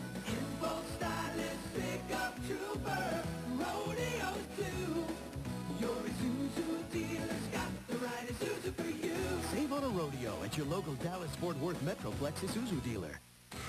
Watch carefully. What you are about to see is fast, very fast.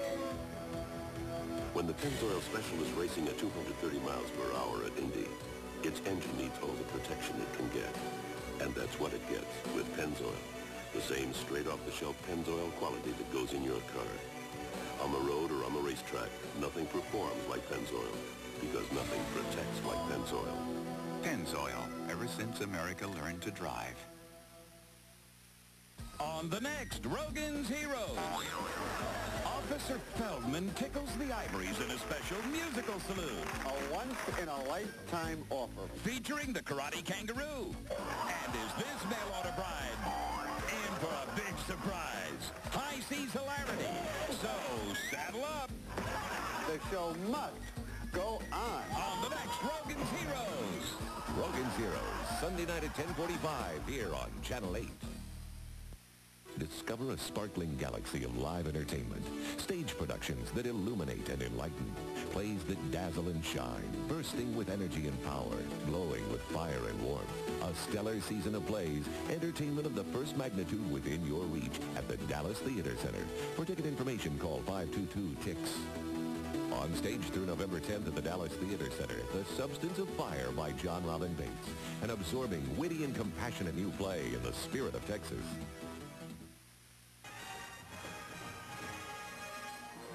Baylor leads TCU at halftime 17 to 2. Roosevelt Collins is not only one of TCU's best players on the field, he's also a very talented artist and poet. And Tony Martinez, producer of the Jim Wacker TV show, recently spent time with the Frogs defensive end. Midway through his senior season, Roosevelt Collins has been the Horned Frogs' most valuable player. For two successive weeks, he was Southwest Conference Defensive Player of the Week. Longtime Frog followers can't remember the last time a TCU defender has done that. Collins, though, seems to be taking all the praise in his very large stride.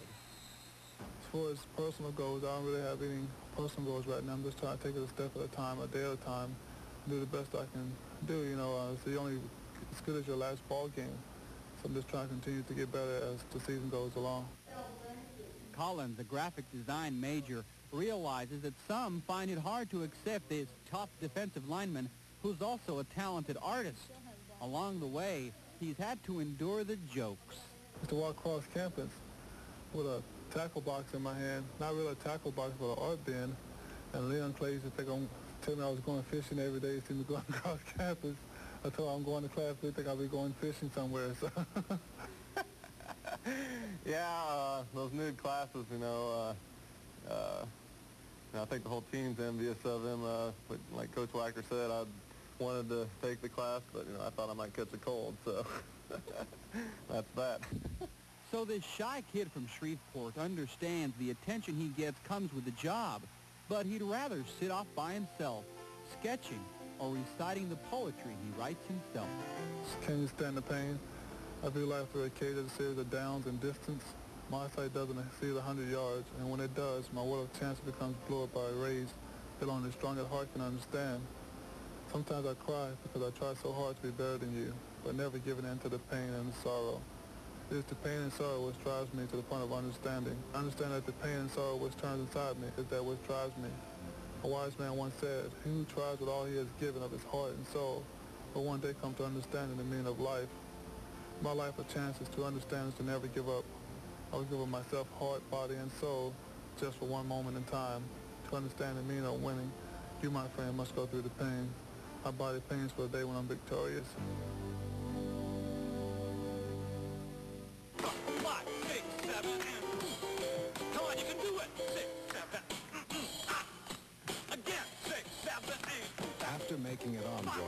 Some of the finest entertainers around go off-Broadway. They appear on Norwegian Cruise Line. No other cruise line offers such entertainment. Norwegian Cruise Line, the best vacation you've ever had. Plus,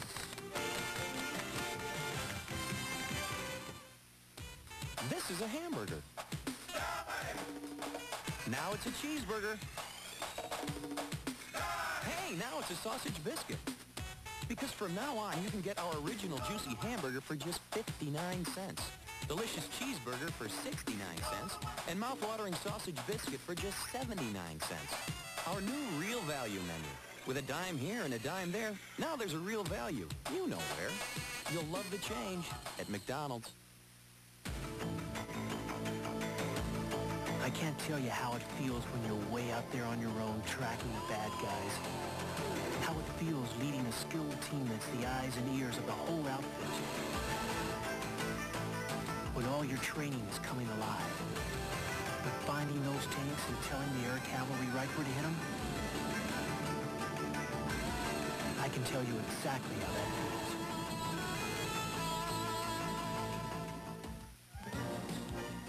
The Exxon Southwest Conference Player of the Week is Bucky Richardson of Texas A&M. The senior quarterback passed for 163 yards in the Aggies' big win against Baylor. He also rushed for 42 yards, scored two touchdowns, and caught a pass on a trick play which set up a third TD. For being Player of the Week, Exxon will donate $1,000 in Bucky Richardson's name to the Southwest Conference Scholarship Fund. Great players and great teams are constant in the 77-year history of the Southwest Conference. Last year, over 2 million fans saw an offensive explosion as Southwest Conference teams set 22 national records. This season, a wide range of scoring styles continue to generate viewing excitement. And again, the conference boasts exceptional candidates for college football's highest honors. Call the Southwest Conference ticket hotline now. 1-800-800-SWC8. First time we met, I thought he's cute. I'd see him on campus, and we'd talk. Then he asked me to this party on Saturday. It was a good party. But after he'd been drinking a while, he was out of control. And people are looking at me like, you're with this guy? I had someone else drive me home.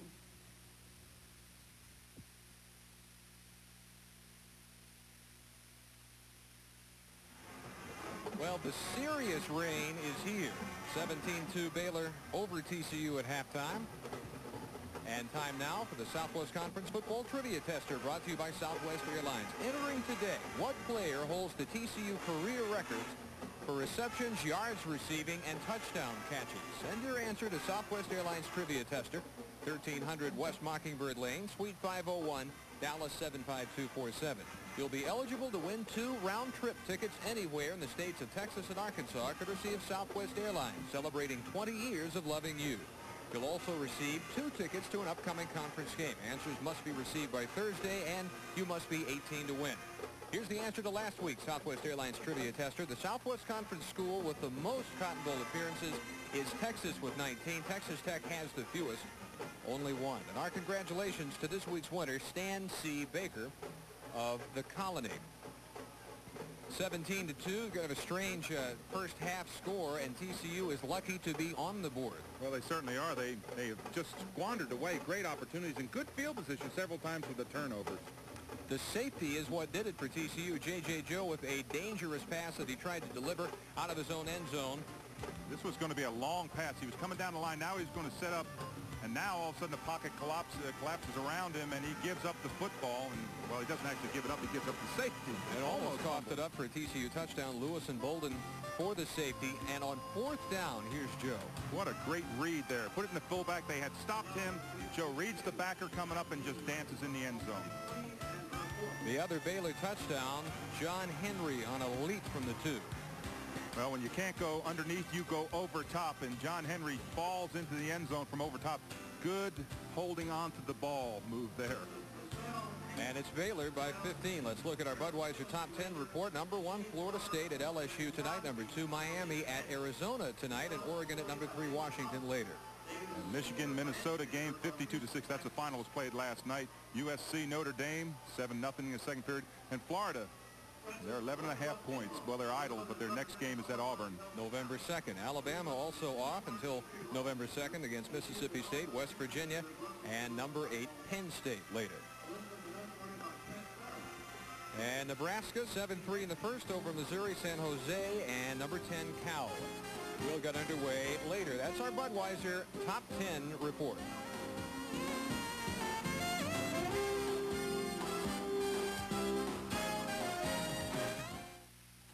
Because most of Southwest Airlines flights are short, we reward our company club members for short trips, not long miles. Southwest Airlines, eight short round trips get you a free round trip.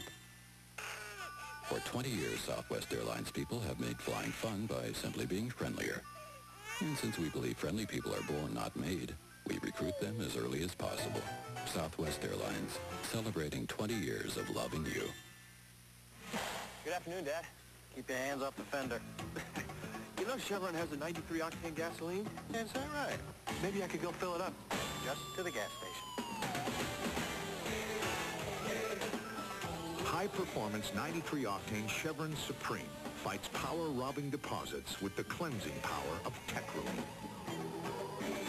Three hours. Gee, Dad, you didn't want me to mix the old gas with the new gas, did you?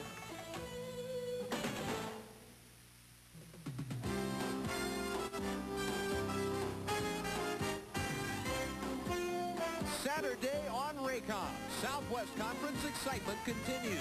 The Texas Tech Red Raiders travel to Austin to battle the Texas Longhorns. It's the best of the Southwest on Raycom.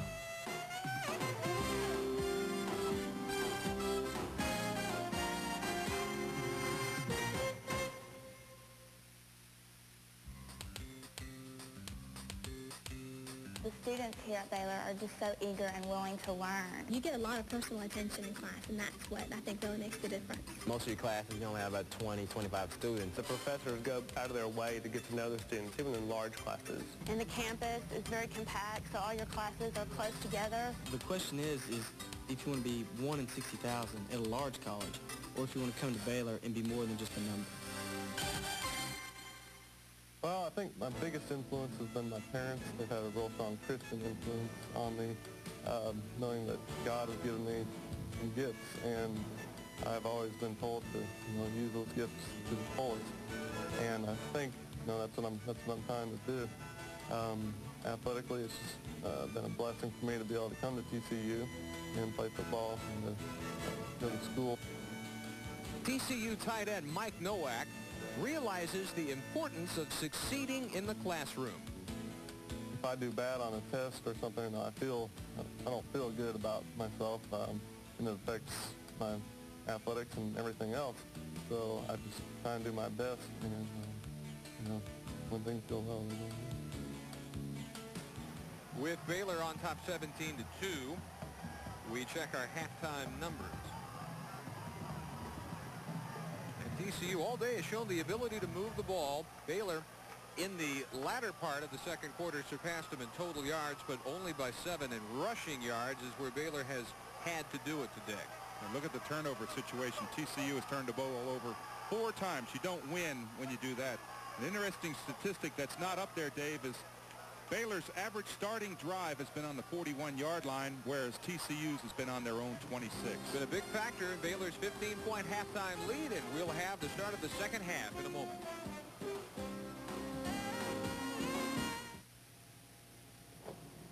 They're right. New Diet Dr. Pepper does taste more like regular Dr. Pepper. So let's have another. New Diet Dr. Pepper. There's no stopping the taste. Once again, Buick is raising the banner for quality in America. Introducing the 1992 LeSabre with a higher level of power, safety, security, and convenience. This new LeSabre is going to be one tough act to follow. LeSabre for 1992 from Buick. If your face were square, shaving would be simple. If your face were flat, any razor would do. But your face has curves. You need the revolutionary Schick Tracer, the first razor with a blade that flexes to trace every curve on your face.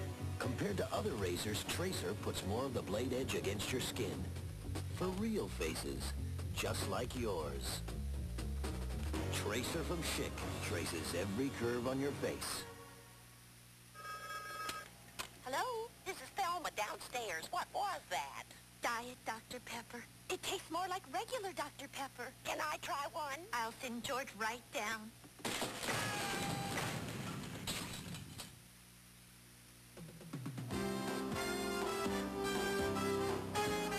Southwest Conference Football on Raycom is being brought to you by Southwest Airlines, by Texas Farm Bureau,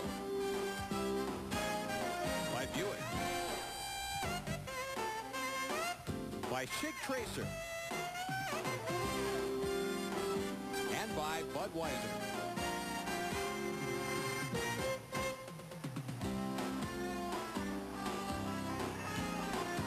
The rain continues in Waco. 17 to 2 Baylor over the Horned Frogs. As we prepare to start the second half, not only is it raining, the wind has not died down uh, noticeably at all, and it continues very strong out of the northeast. And if you didn't come prepared today, then it's a real test of just how hardy a football fan you are. But I tell you, not many, if any, have left at halftime. That's a credit to Baylor's homecoming crowd, which they thought might be 40,000 and probably because of the conditions won't quite hit that total today. Trey Beacon with the wind behind him. We'll kick to Miles and Miller.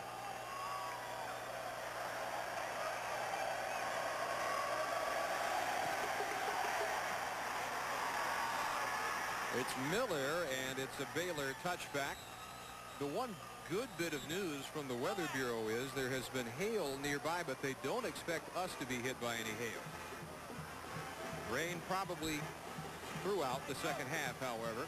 And as we pointed out in the first half, that favors the ground-oriented Bears. It's hold-on time right now. When they came out of that locker room, they saw this heavy rain. I'm sure the first thing the offensive coaches said is don't fumble the football. Make sure you tuck it away, keep good control of it. In the first half, you see the drive chart, first half possessions for the Bears. And you really got a graphic indication of their field position advantage. They may cough that up here. Scramble at the 11. Dave, I thought that was a lateral. I think that was definitely a lateral for Mims. And Baylor on the bottom of that pile. But they lose nine yards.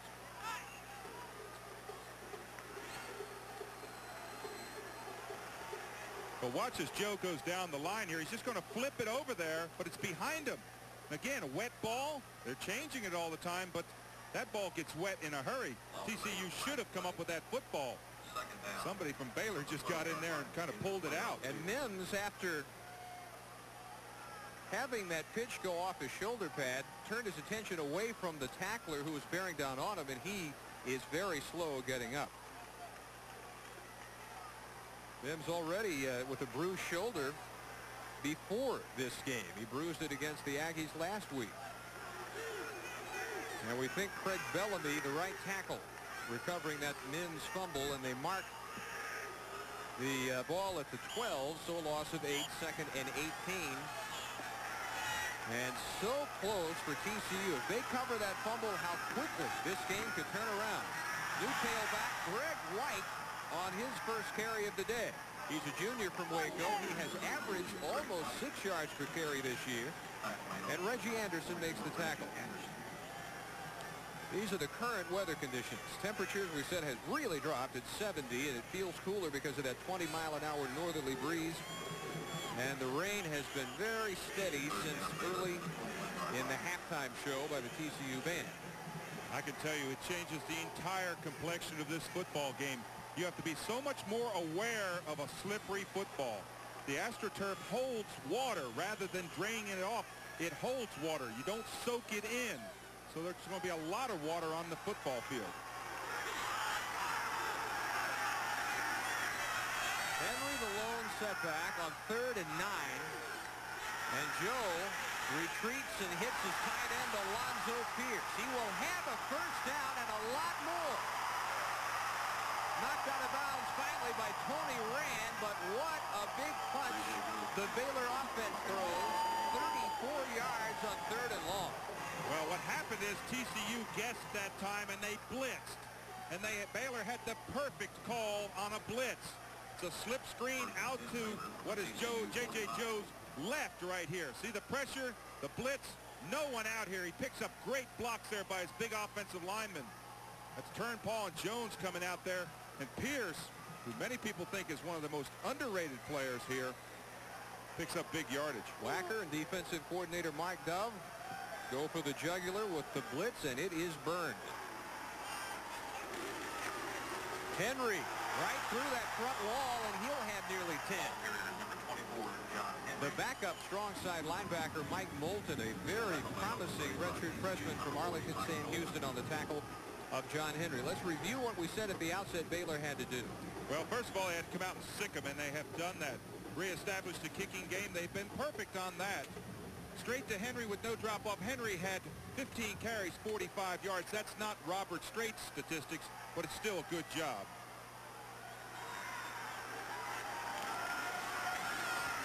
Henry has the first down. 34-yard line. Again, Moulton on the tackle. Dave, one of the things you see as you look at Henry come back to the huddle is he wears a visor. Now that is hard in the rain because the rain has a tendency, just like a windshield, to get on the visor. He turn around, we can see it, but it's hard to catch a pass when you're looking through a, a clouded up uh, visor. As our producer, David Handler, points out, pretty soon somebody's going to invent little wipers, and they'll take care of that problem. Well, the difference being on the run is they place it right in your belly, and you don't have to look it in. You just take it in. First and 10 Bears.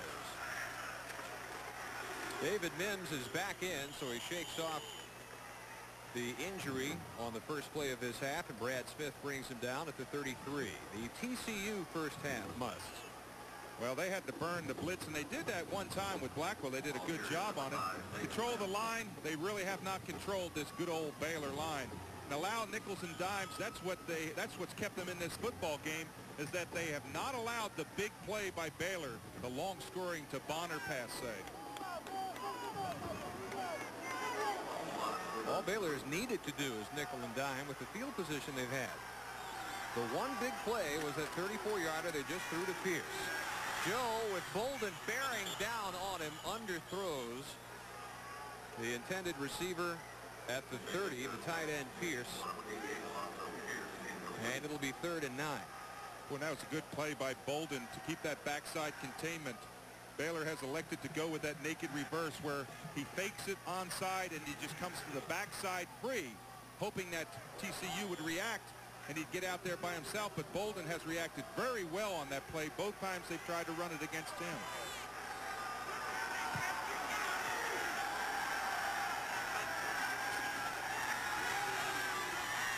Joe looking deep, settles for the completion for the first down at the 23, and that is Reggie Miller's second big catch of the day. He came in with only nine for the year. An excellent pass by J.J. Joe that time, really not stepping forward, all arm strength. And he threw it right in the seam. There was a hand that came from one of the defensive backs that almost got in there, but just was short. Just a superb pass by J.J. Joe. Iowa by one now over Purdue. The pitch, White got away from the middle linebacker Smith, and then Evans knocked him out, but Greg White picking up an additional six or seven yards after breaking that tackle. We were talking about Miller. He's the only wideout for Baylor with a catch today. He's got two for 29. They have shut out Melvin Bonner. Earlier this year, that didn't look possible. Well, the one way they've shut out Melvin Bonner is to do double coverage on him. They're a two-deep zone, and they are putting two people all the time on Melvin Bonner. That's how much respect he commands. First man through is Henry for maybe one. And that may be a good example of the big difference, and there's nothing that Henry can do anything about. When Strait carries and they're ready for him, the pile still moves three or four yards. Yeah, he takes the pile right along with him, and you watch him as he rumbles through there, and he's got two or three people, and you just don't get a Robert Strait down until you hit him low. The difference is 60 pounds. However, this guy averages 6.3 per carry. And that's actually better by more than a yard per carry than Strait. That says something about what, what Fred Goldsmith was talking about two weeks ago. He'd rather face Strait at less than 100% than Henry full bore. On third and five, Baylor with some confusion will call time with 10.59 remaining in the third quarter as the rain continues unabated in Waco, 17 to 2, Baylor.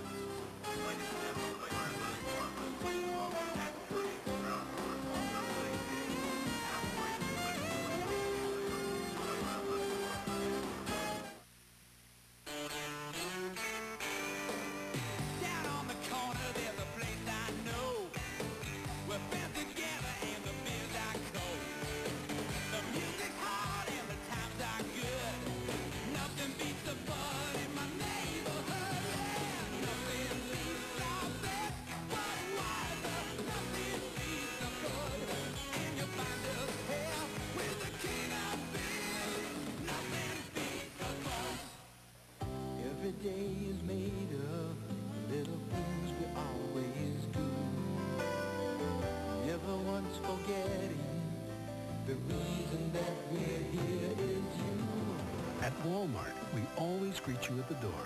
We always try to have what you want. You can always return it. And you'll always find the low price on the brands you trust. Every day and always, we're here for you.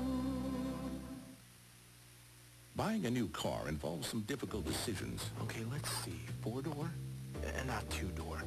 Hey, maybe no doors. At NCNB, we don't think financing should be one of them. But you gotta be kidding. That's why we've set up a loan information line. Call with your questions or stop by and see a loan specialist. Way too fast. Then move on to the really difficult decisions. Okay, red. No blue. Maybe white. 1-800-ASK-NCNB. Two-tone? The loan source. Well, this has been an unusually dry autumn, so uh, all things considered, we ought to be glad to have the rain. 10.59 in the third, and after the timeout, Joe, on the option, will keep and get belted at the 17-yard line by backup middle linebacker Patrick Collin, uh, Connolly, junior from Duncanville. Former walk-on who earned his scholarship last spring, and it will be fourth and five for Baylor, and on comes Ireland. And if you ever wanted to run a fake field goal, this is the perfect time to run it. When you've got a lot of rain, you've got slippery conditions, you kind of catch the defense off guard, and if you don't make it, you still got the offense way, way back in their own territory. That 38-yarder ended a 0 for 4 slump. Stretching over two weeks for Ireland. This one was placed down, or will be, at the 25, and it is a 35-yarder, which is good. That's as low as you can pick it and sneak it in. And Ireland says, hey, I'm due one. That looked like Phil Niekro throwing the knuckleball through there. The ball did not have any spin on it. Came right off his foot. I think it might have got through some hands going across the line. But watch the ball as it comes through. No spin. You see the white on the outside? Boy, now when you're lucky, you can see the reaction here. He's going, oh boy, if that one makes it, I can make anything. Better to be lucky than good. He'll take it.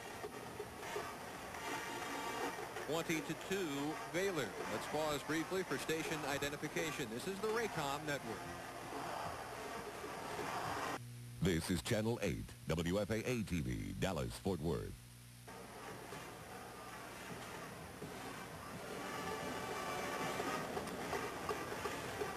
From Floyd Casey Stadium in Waco, Texas, Dave Barnett and Dave Rowe. Baylor's lead up to 18 on Jeff Ireland's second field goal of the afternoon. And I said earlier, not many folks had left. I would like to amend that statement. Floyd Casey Stadium starting to hemorrhage fans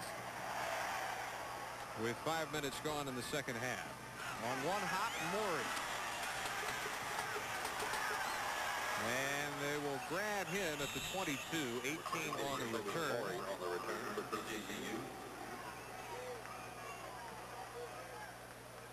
Ray Matthews with the arm tackle to bring down Maury. This is our headhunter again. Got popped off the line, but still gets down and recovers and gets in on the tackle. That's why they call him the headhunter. He just kind of searches it out. Lance Marburger.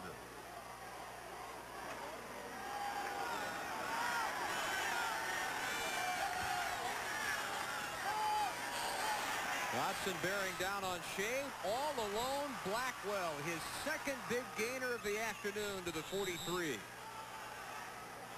21 yards for Blackwell. You know, when you think of a wide receiver, Dave, you think of speed, race, moves, and things like that. Blackwell has has that also, but he is a super strong football player. He's got great upper body strength. Four catches today. He is near the century mark, 96 yards. Led all collegiate tight ends last year, nearly six catches per game. Better numbers than that this year.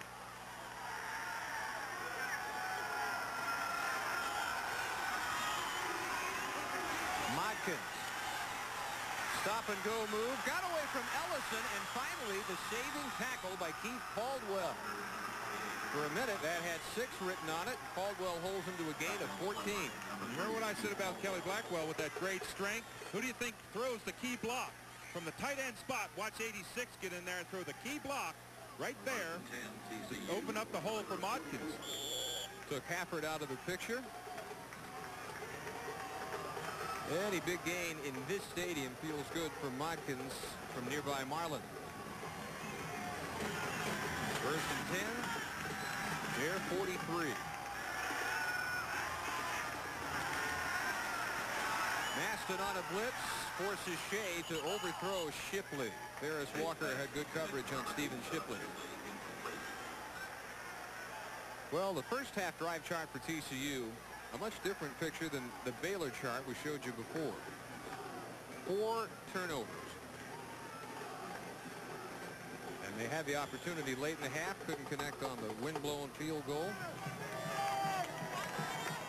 You can see by the arrows where their possession started all deep in their own territory. Watkins out, Cedric Dickens in motion out of the backfield. Schade again under pressure, got it off, well behind Dickens. And now a scramble at the 45 between John Marsh of TCU and uh, Santana Dotson of Baylor. And we're going to see a new quarterback for the first time today and for the first time in a few weeks for Matt Vogler. As we said, he burned his hand in that cooking accident at his apartment a couple of weeks ago. Schade shook up on the previous play, and so Vogler, who was listed as available, but they didn't want to have to use him today. The senior from Tampa it really hurts that left hand when he takes the snap. Handles this one okay, and on the money to Stephen Shipley, but I don't think he ran the pattern deep enough to get the first down. I think he's about a half yard shy. Well, knowing the gambler that Jim Wacker is, they'll probably go for it. But a lot of times you bring in a new quarterback and you get a big spark. Shipley just does a curl underneath.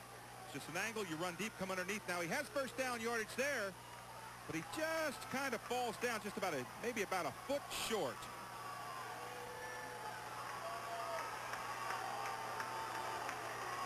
Well, this is an easy decision to go for it. The the tough part is what type play, if they're close enough that you think a, a leap by Modkins should get the job done. Probably wouldn't want Vogler to have to handle it with as much tape as he has on the left hand.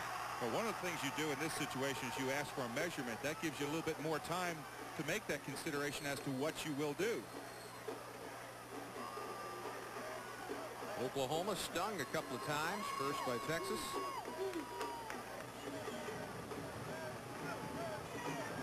Couple of feet. Vogler, what I'm going to come is I'm going to come up that line. I'm going to tell my team, listen for the snap count. See if you can perhaps draw them off sides and get that free first down. If you don't, have a solid play run behind what you consider to be one of your best linemen. You got Breedlove, the center, at 275. Scott and Marsh average 300 pounds at guard. They go to Dickens, and he might have it. The spot will be everything. Cedric Dickens, the junior from Quanah, with that forward lean might have just barely edged past the first down marker. Boy, what a pile Brian Hand and Clifford Ellison made at, at the point where the ball was going to go. They came down, took down the interference, and if Dickens made it, it's just because he dove over top of it. I think he's going to be short.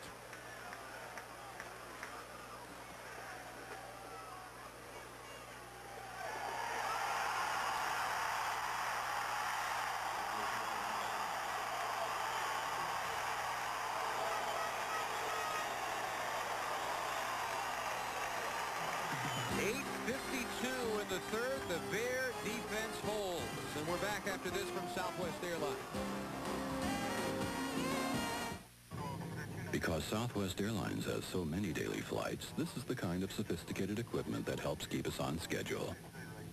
So is this. Southwest Airlines will save you time and money. At Southwest Airlines, we have the newest pure jet fleet in the airline industry. In fact, our fleet of Boeing 737s averages just six years of age, just like some of our favorite customers. Southwest Airlines, the youngest fleet in the air.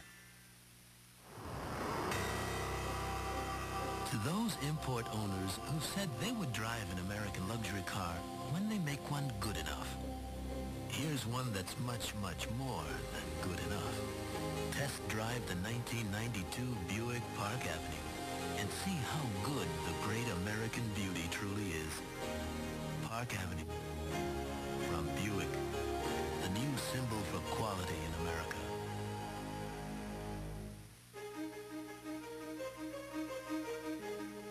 Most people think there are two ways to buy gasoline. Credit for convenience and cash for savings. But unlike some others, Chevron gives you convenience and good prices 1215, sir. 1215, sir. for cash or credit. Not everyone has it. But at Chevron, there's just one price for one great gasoline. Chevron. We're with you all the way. Dave, I think if Dickens had made a better choice on this play and cut the ball up underneath, he might have picked up this first down. At the point of attack, they get knocked down. Now, right, look right to his right. You see the hole open up.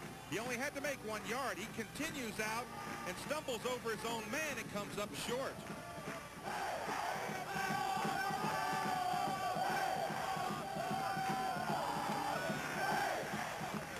So credit the Baylor line for giving Joe and company a new possession. Bradford Lewis this week, the second team fullback behind John Henry and Thomas Lewis. No relation, made the tackle. Only seven passes by Baylor. They said when you have the things happen that we've had the last two weeks, you go back to what you're all about. He says our personality is based on grinding it out. And that's what they're doing this afternoon.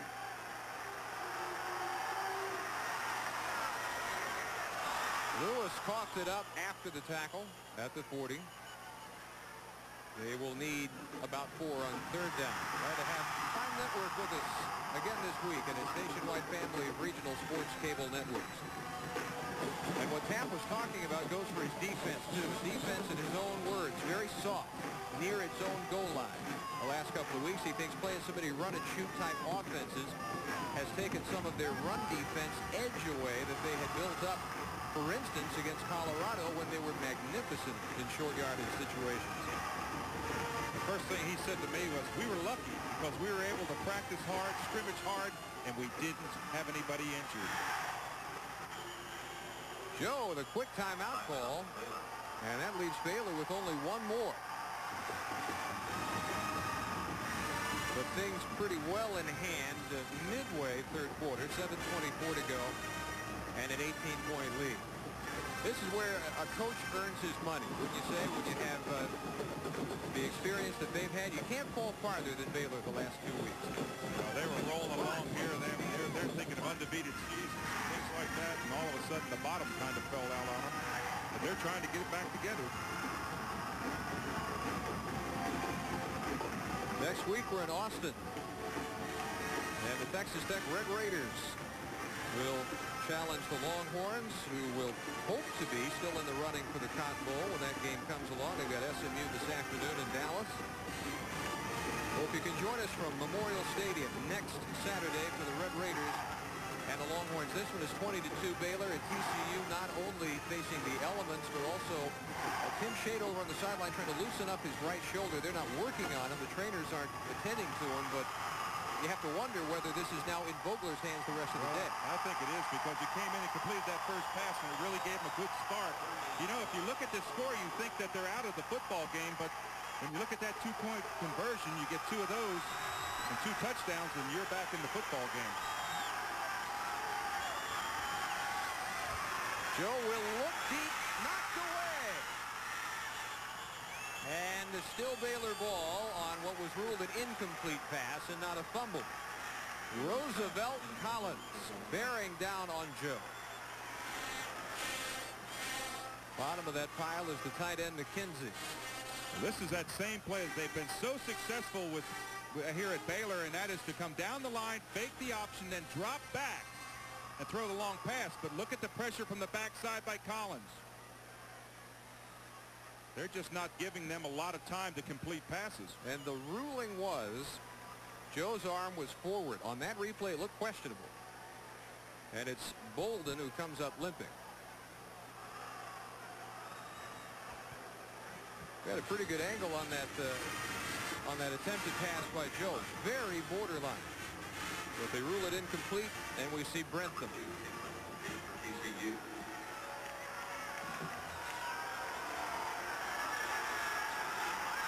Hickman at his 18-yard line. The wind now pretty much a crosswind.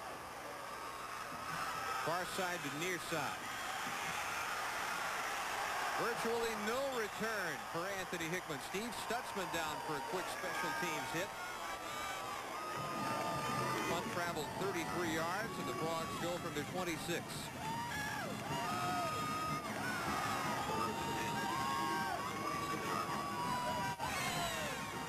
Forget, at the conclusion of today's game, Dave and I announced the Southwest Airlines player of the game. Stay with us and keep that in mind as we go to 7.07 in the third period. And Vogler remains the quarterback.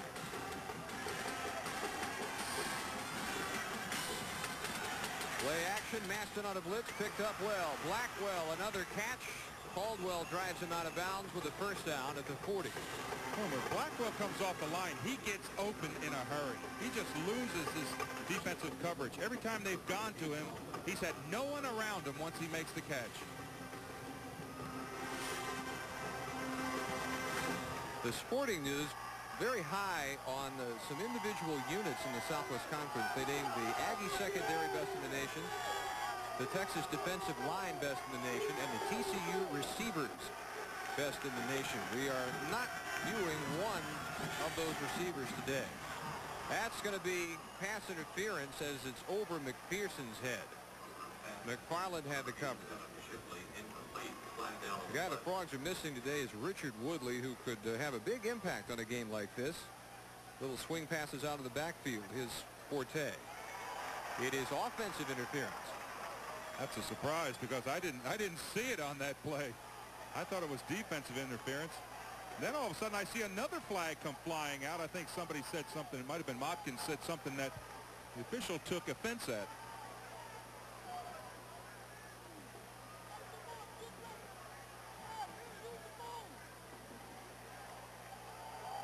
That it is.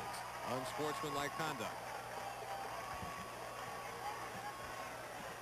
Now watch Shipley. You may be able to see that Shipley hits him in the face. Let's see him. See what our picture shows. Right there, he pushes him off. Maybe that's what they called. Maybe that's the defensive. There's the flag coming in. That is evidently the interference. Well, we couldn't see when the ball went airborne. Shipley But- looks like he was just coming off the line, just trying to get free. It did, didn't it? On it's hard to read because you don't see the ball, but it looked like the ball might not have been thrown when Shipley had that contact.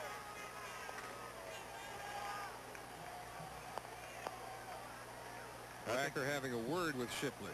Well, I think it's as confusing to Jim Wacker because you know how how outgoing he is when he thinks a call goes against him. I think he's a little bit confused on the, as to what the call was also.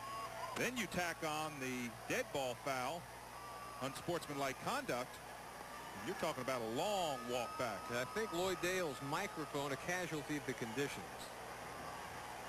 So we didn't hear him make the call, but you know what it is already. And the Frogs march all the way back to their 13-yard line.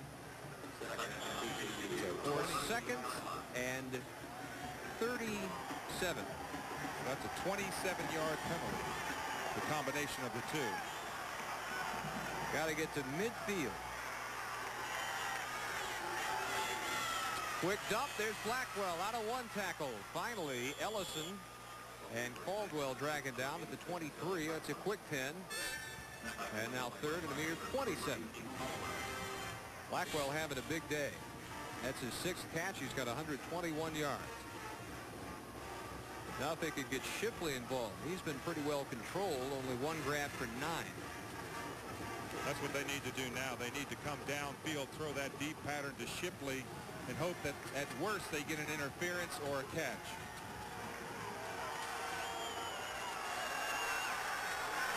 Lewis, who replaced Woodley, held without a catch so far. Blackwell again. Hafford knocks the ball free, but out of bounds. And they mark Blackwell out at the 39. Fourth and 11. Well, I talked earlier about how open Shipley gets. Number 86, I mean Blackwell, Blackwell gets. He just kind of spins around. Now he's got the ball, comes upfield. Now the ball gets raked out from the back, but it goes out of bounds before the recovery.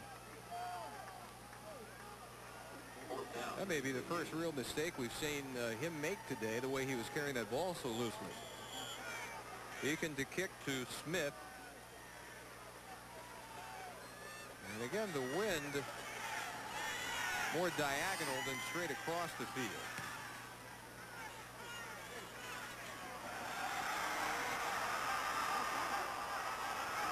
And Smith really fighting for every yard he can stretch out of that return, and he gets 12. That's a net kick of only 23. As the rain continues in Waco, Baylor by 18. The blade edge against your skin. For real faces, just like yours. Tracer from Schick traces every curve on your face.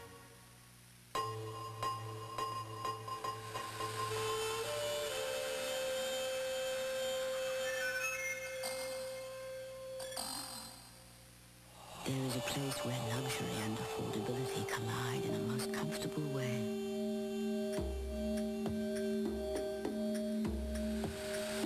A place to embrace it all this winter. All legendary pleasures of Puerto Vallarta. Puerto Vallarta embrace the Mexican fable.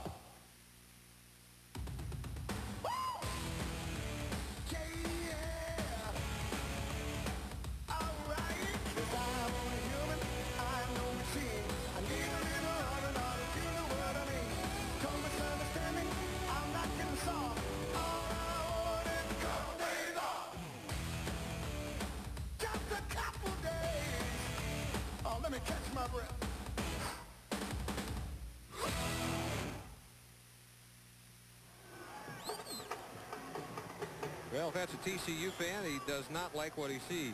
22. Baylor with 5.49 to play in the third. White remains the tailback. And Joe on the roll will fire just off the hands of Lee Miles. Baylor relying almost exclusively on their ground game today. Joe, 4 of 8, 65 yards through the air. You would think with a 20 to 2 lead that that's exactly what Grant Teaff would really like to see happen. Stay on the Aggies. Aggies are just an incredible first half team. We talked last week about the teams that have had trouble in the first half. Arkansas and Texas to name two. A&M is unbeatable until halftime. Pretty unbeatable after halftime. White to the 40. Bring up third and eight for the Bears and uh, some raw feelings. Greg Evans, number six, made a brief charge uh, toward the Baylor huddle and Anderson roped him back in. Speaking of the Aggies, they lead Houston 11-1 with two ties at Kyle Field where they're playing today. And that's not too far from where we are, 90 miles or so, so weather conditions may be a factor in that one against Houston and for the ground-oriented A&M attack.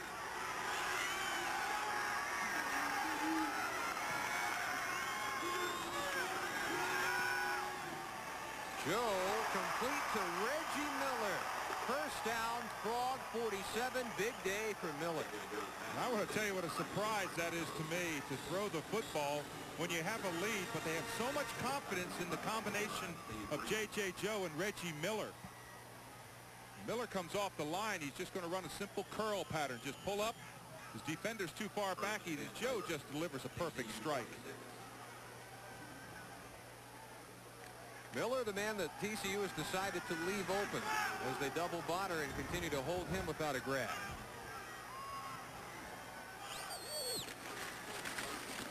First down, conservatism to Henry. Patrick Connolly. Smith's back up at middle linebacker, first man to greet Henry. If there was ever a guy who was named to be a fullback, it's John Henry.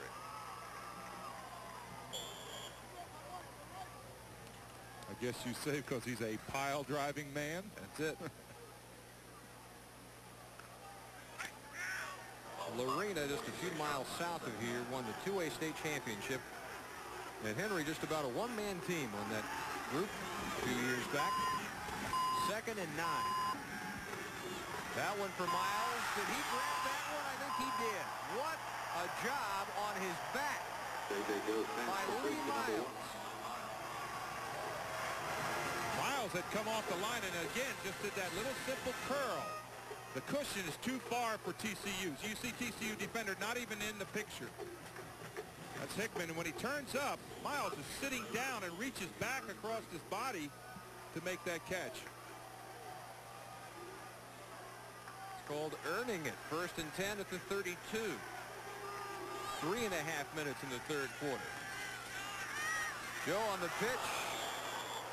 White did a good job hanging on to that because Anthony Hickman arrived just as soon as the ball did. Boy, he did. He did a great job holding on. on. When he came, comes back and looks that ball in, the first thing he sees when he turns around is Hickman. Watch this. He's looking the ball in. Bam! That is a superb job of holding on to the football. And he just did hold on to it.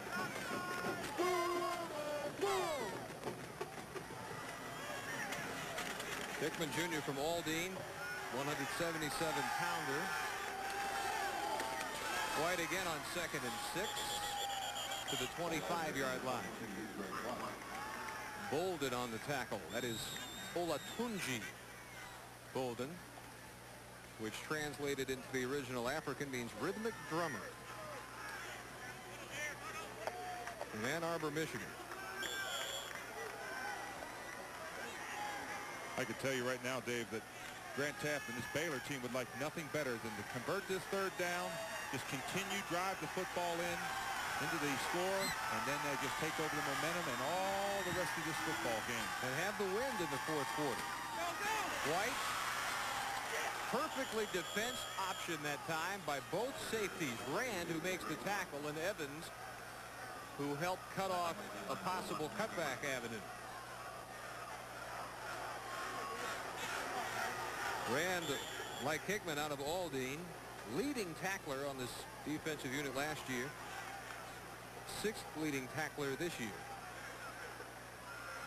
Well, you get the feeling that they've gotten that confidence back in that kicking game with Ireland hitting those two field goals in two attempts. If it makes this one, they'll forget about last week and the week before. This is 44 yards and virtually no angle. And no good. Last knuckler was perfect as far as uh, his aim, very low. This one even lower than that. And Taft knew instantaneously he had hooked it and had no chance. This is a ground-oriented attack. Mims, Strait, Henry, and Joe. And uh, three of those four averaging right at six yards per carry. Made for different conditions. Day like today points up that fact. Vogler still in there. Schade took a blow on the shoulder. We hadn't seen him for the last two possessions. Back up tight end Matt, Mike Nowak, the intended receiver. Vogler had to get it off in a hurry with the blitz bearing down and it's second and 10. Boy, if he had another couple seconds on that pass, he could have picked up Shipley on a crossing pattern, and he was breaking wide open. But as you said, Vogler had to throw the ball quickly to get rid of it. Vogler, of course, last year with that 690-yard game against Houston briefly held the NCAA single-game record. Last week against Rice, they got hot and they stayed hot in the second half. They trailed Rice and then won 39 to 28.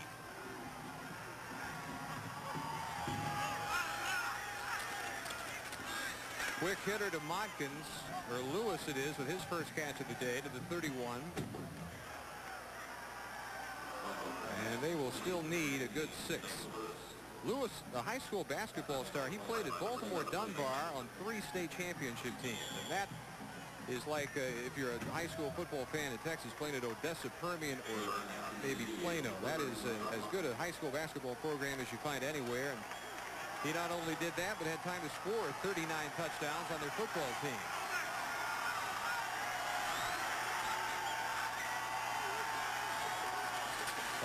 Blitz, caught by Blackwell for the first down. I don't know how he caught that I football. don't either. That ball was drilled to him, but I want to tell you, his vision was taken away by the defensive back. Watch this, 86. Now watch when he catch, bam, right there he gets hit, he gets ripped down, and still picks up the first down. See how quickly the defender put his hand in front of him? That is great concentration by Blackwell. That was Michael McFarland. Blackwell flicked him off, first and 10.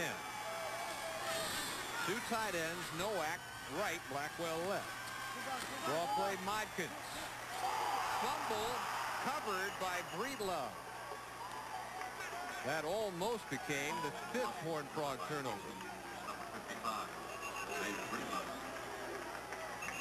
And that is the final play of the third quarter.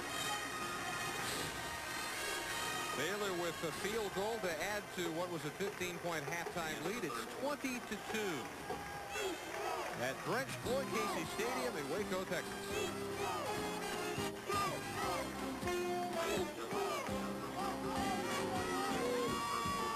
Ever since Southwest... Some manufacturers think this is just standard procedure for the new model year. Jack up the price, 5% here, 10% there, and if it's a hot seller, wham, 15%. Your North Texas Chevy Geo dealers have a better idea. They're taking one of their hottest sellers, the S10 pickup, equipping it with a special Tahoe package, pricing it at just $97.19 and giving you air conditioning at no charge.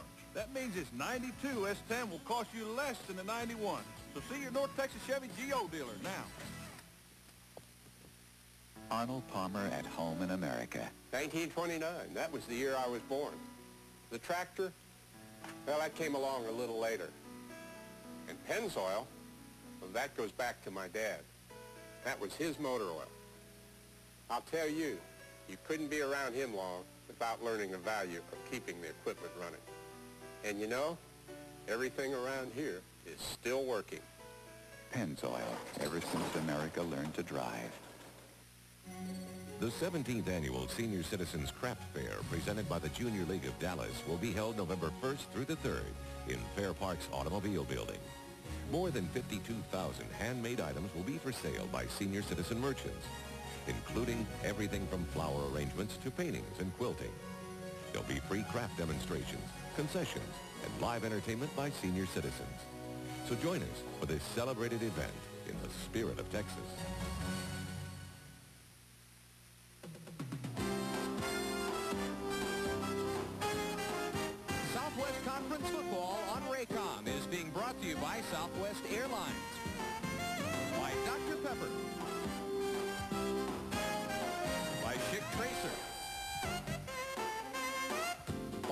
Budweiser. Friends know when to say when. By NCNB. And by Buick.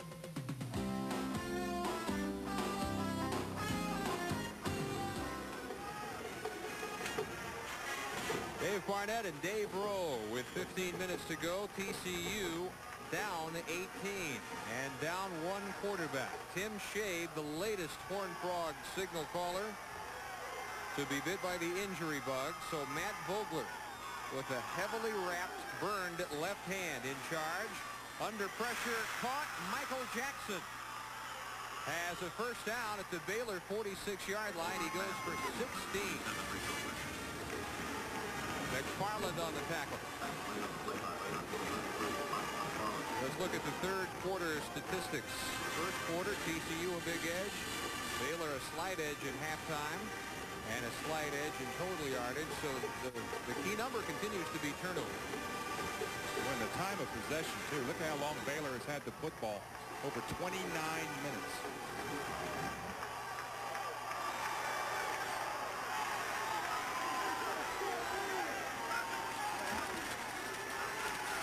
Vogler, good protection.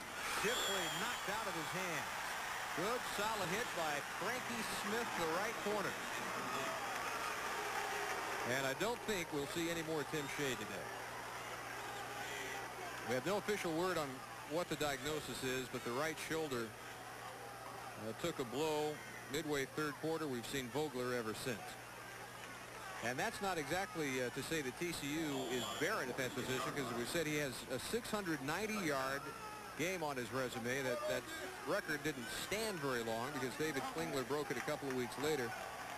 But he's got that kind of arm. Transferred from Auburn out of Tampa, Florida.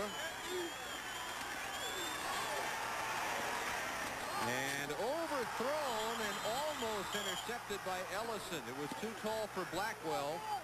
Ellison almost did a Lee Miles on his back to bring that one in. It's amazing how many times they go to Blackwell, though. They just continually come back. Underway at the Cotton Bowl, Texas and SMU. And Peck with an early lead on Rice. Rice coming into that one three and three.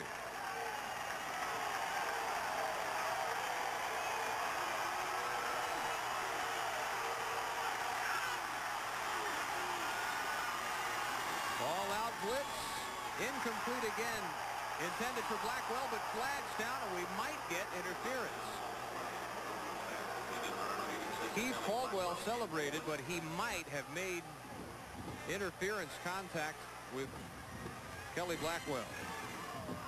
That's what they're going to call. Blackwell just comes off the line. When Vogler reads that it's a blitz, he's just going to try to hit Blackwell right quick. Bam, right there. And Caldwell is all over him.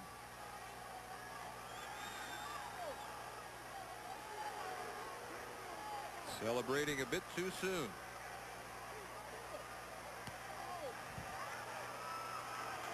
Boyd Dale's mic again not working. That was on a third and 10.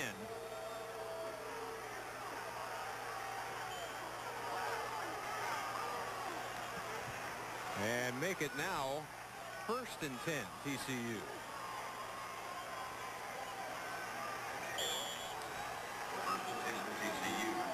If you figure the Frogs good for maybe three possessions in the fourth quarter, they got to score on every single one of them beginning now.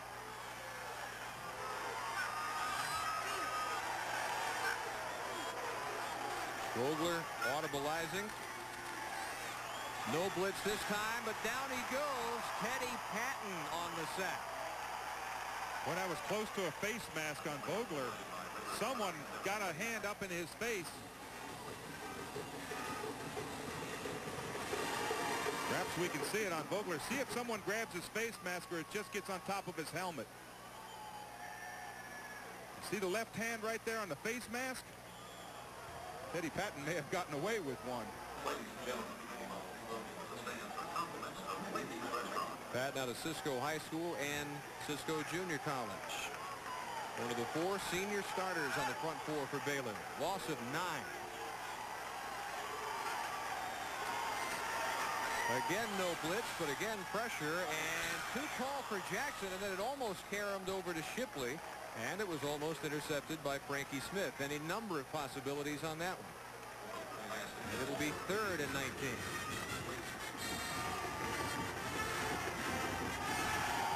Vogler's got to go a little bit farther downfield. He's got to find Shipley in that one-on-one -on -one situation where he breaks free. If I'm a Baylor defender, I'm going to give you that little short dump pass all day long. But they haven't really thrown that many. That's that's the bread and butter of people like Woodley who are not available. Woodley with a fractured left elbow, in fact, out three weeks. Cullors out two, three weeks with a sprained ankle that they thought might have been fractured against Rice last week. Fontenot bearing down on Vogler, who overthrows McPherson. What they tried to do that time is they tried to cut Fontenot. A big man that's agile has the ability, once you try to cut him, he can just step over top of you, and that's what Fontenot did, and ran right down Vogler's throat to force that pass. New punter Mitch Ashley, a true freshman from Nacogdoches. That average seven yards per kick lower than his all-state average as a senior last year.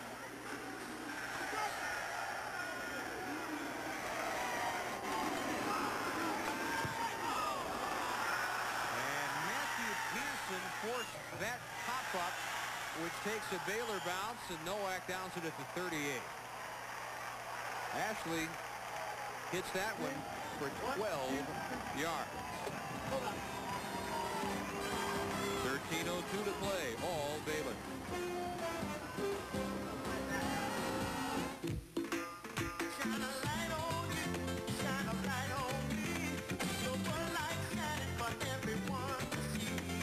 When you're looking good, you want Bud Light.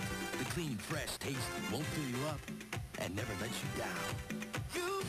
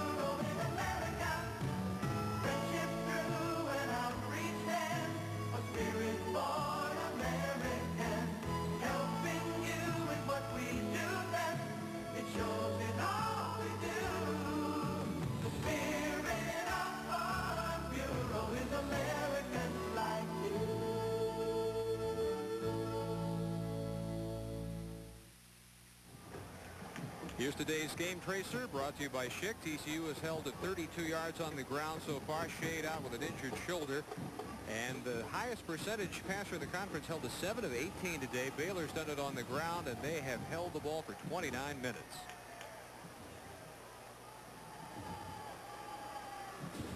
Ashley's 12-yard kick sets up Baylor in great shape at the 38, up 20 to 2 with 13:02 to play. Not far from improving their record to 6 and 2. They say 9 and 2 ought to get us a pretty good bowl. Maybe not the Cotton, but even though we probably won't win the Southwest Conference, is no reason to cash in the rest of the season. And John Henry's latest carry carries just across the 40. Connolly on the tackle. Haven't had any information that Brad Smith is out, but we haven't seen him much this half, and Connolly's been in on several stops.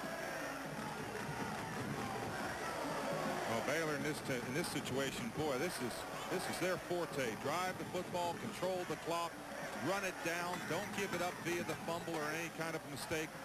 Just take control of the football game. Joe for the home run overthrows Bonner. That's the first time Bonner has been close enough to being open for Joe to even attempt that pass. Steve Reed had the coverage. And what they did that time, Dave, is they shortened up that pass. They didn't take as much time. And Joe, when he came down the line, faked it and quickly found Bonner. Actually, a little bit quicker than Bonner became open. Bonner this year, 28 grabs for an average of 26 yards per catch. That is 10 yards per catch better than the nearest average in the conference, which shuffle moving here. Collins for TCU and Matt Gant for Baylor. Collins moved first, then Gant flinched. And Lloyd Dale will sort it all out.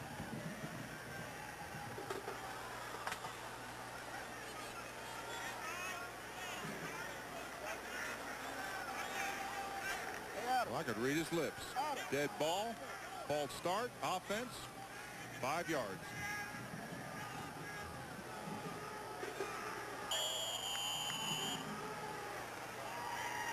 Assuming Baylor holds on, this is their sixth winning season out of the last seven. Their best start since 1985 when they opened 7 and 1. This would make it 6 and 2. Joe, heavy pressure. Collins has him at the 21. Eighth sack of the year for the senior from Shreveport. Boy, and that's a double credit there. Credit to the defensive secondary for coverage and a credit to Collins to keep on coming from that backside for that sack. Third today for the Horned Frogs. And it forces a Brentham punting situation with 11.29 to go. They could really use a big return by Hickman, who is more than capable. Or a block, and that's what they go for. They almost got it from McPherson. Hickman catch. Did he touch the ball? Flag is down. Obviously, the Bears have the recovery. I think he was interfered with on the fair catch. You have to give him certain yardage around him and let him catch that fair catch. Even though he was running trying to catch it, you still have, once he signals, you have to get out of the way.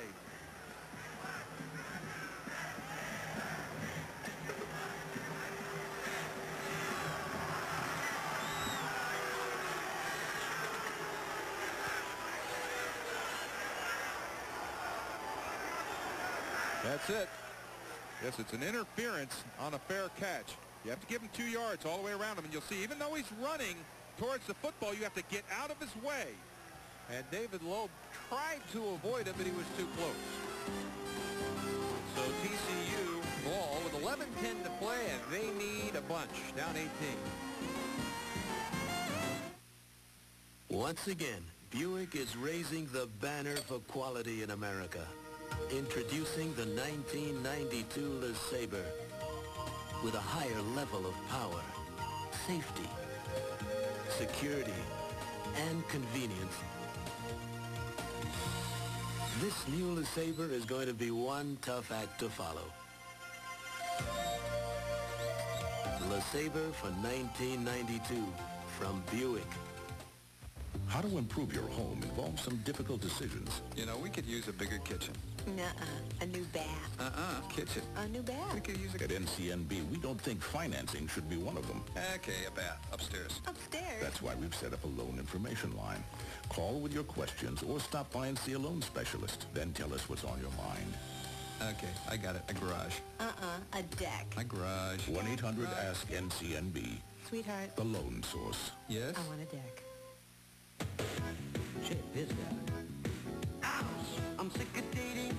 You gotta fake it. So much madness, you just can't take it. Hey, don't go through this. I know it feels good. While the best thing's always so misunderstood. Just give me what the doctor ordered. Just what the doctor ordered. Hey, give me a Dr. Pepper. We want it. Whoa, just what the doctor ordered. The taste is made to order.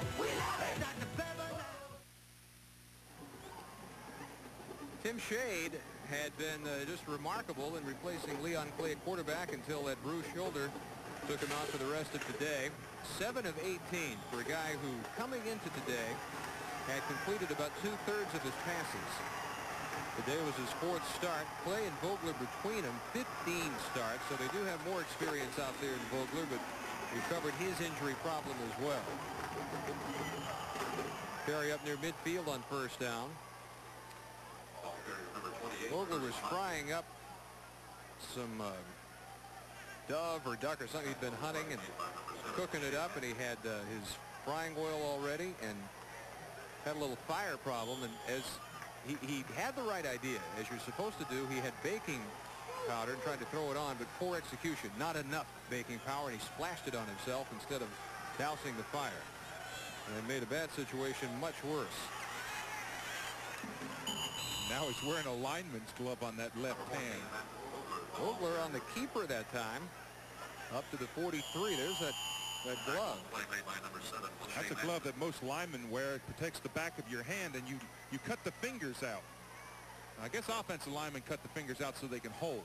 I never liked that, but Vogler obviously cuts the fingers out so he can get a grip on the football.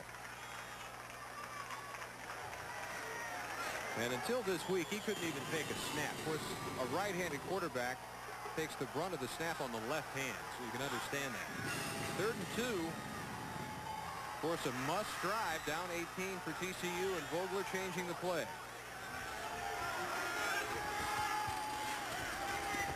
And again, they try to beat the blitz with the keeper, and they're at least a yard shy and have to one would think definitely go for it on fourth and one. It's an interesting way to beat the blitz. Quarterback keeper straight up the middle. Well, actually, it's called a goose play. You just come up and you give a signal to the center that you want a quarterback sneak. I think what they're, they're trying to call timeout right now so they can discuss it and go on this fourth down.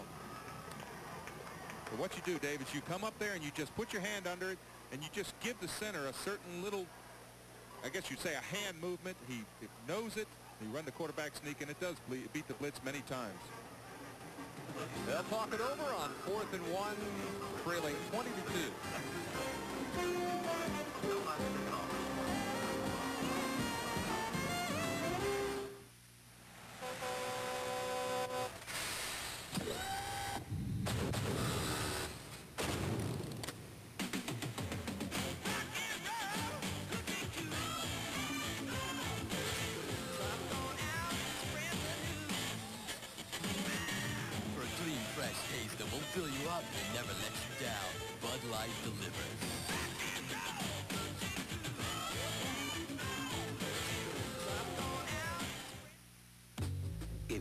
Face were square, shaving would be simple. If your face were flat, any razor would do. But your face has curves.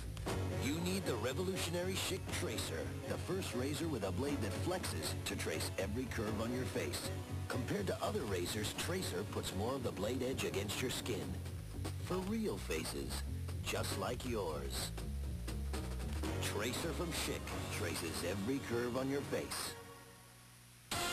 Here's a lease you can live with on the Acura Legend. $399 a month for 48 months. Legend's a perfect combination of sport and luxury that you have to drive to appreciate. And now, a factory-assisted lease program puts you in a Legend coupe or sedan for only $399 a month for 48 months. Come drive the Acura Legend at Goodson Acura in Irving or David McDavid Acura in Plano. Precision-crafted performance from your Dallas area Acura dealers.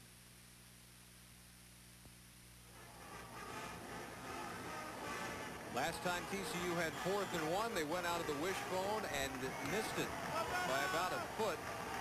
They have fourth and one here, trailing by 18 points with 9.42 to play. And they've made their decision. Again, the wishbone with Michael Jackson, the fullback, and Modkins and Dickens behind him, and they go straight up the middle this time, and again appear to come up short. The other time they handed to one of the setbacks. And they did away with that option, but I don't think had what they needed. Boy, it is so hard to run inside on this Baylor defensive line. That was a strange call for me. I think I would have put, pulled the ball down, and it's easy to say this in hindsight, and tried that same point of attack where they were they were almost successful had they cut it up inside. I think he's way short. Way meaning Six inches?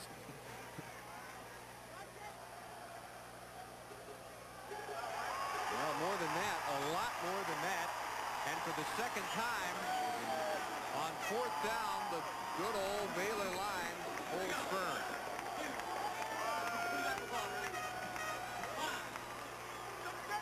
Frustrating day for TCU offensive coordinator Bob DeBesse. Side. What a difference a couple of weeks made.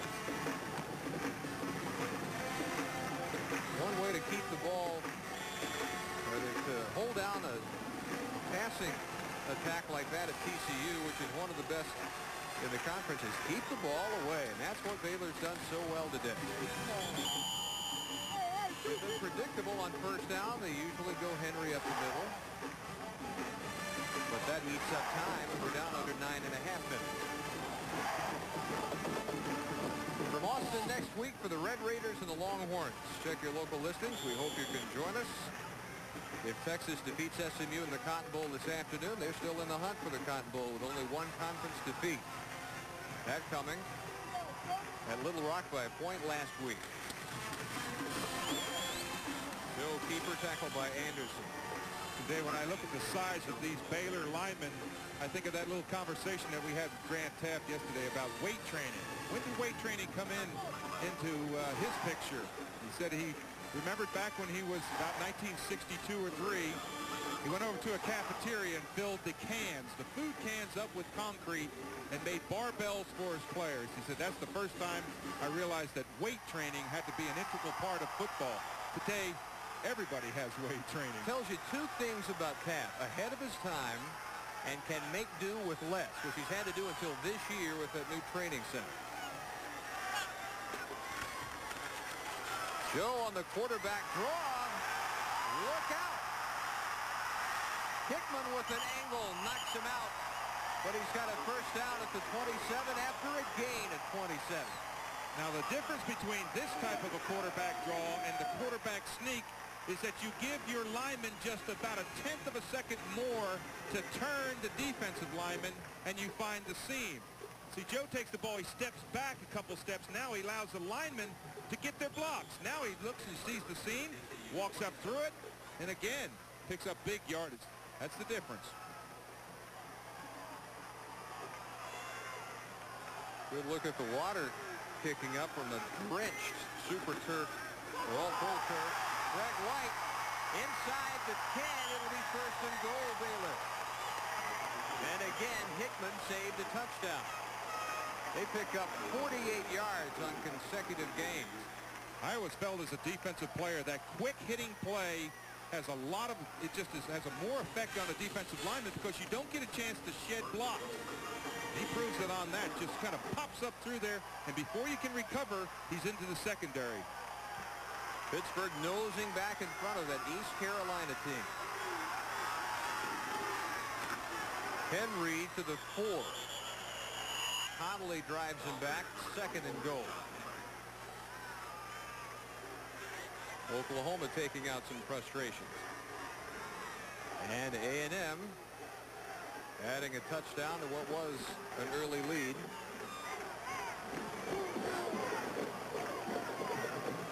Talk about the what-ifs for TCU. They're one point away from a perfect record coming into this game. Same is true for A&M. One point loss to Tulsa, which as every week goes by, it's more and more mystifying. How did that happen?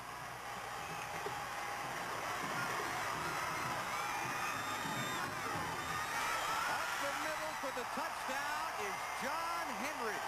His second today. What a different type of a handoff for J.J. Joe. He flashed one way, turned completely around, and handed the ball on the other side.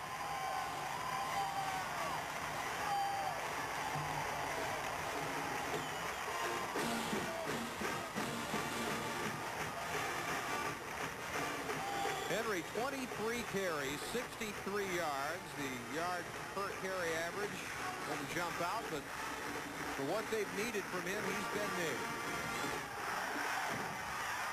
Ireland for the extra point, no good. He hooked it wide left, and it's still 26 to 2. What happens on this play if you're the middle linebacker and you're keying the, the quarterback, see the action right there where he turns all the way back around? That freezes the middle linebacker for just a second and opens up the hole. Tremendous block by Scott Bair in the Boy, center. Absolutely great block by Bair. After this from Southwest Airlines. Because most of our flights are short, This is what our meals look like on Southwest Airlines. It's also what our fares look like. Southwest Airlines.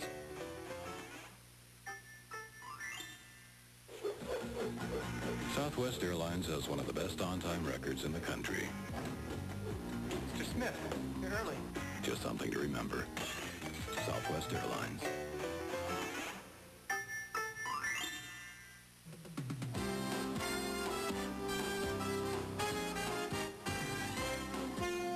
Saturday on Raycom. Southwest Conference excitement continues. The Texas Tech Red Raiders travel to Austin to battle the Texas Longhorns. It's the best of the Southwest on Raycom.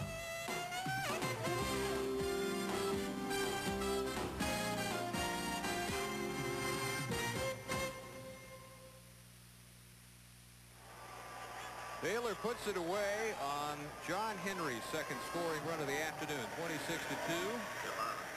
And he's done his job in that they have not missed Robert Strait one bit today. Strait with the ankle problem on top of the surgical knee, which kept him out of action only 11 days.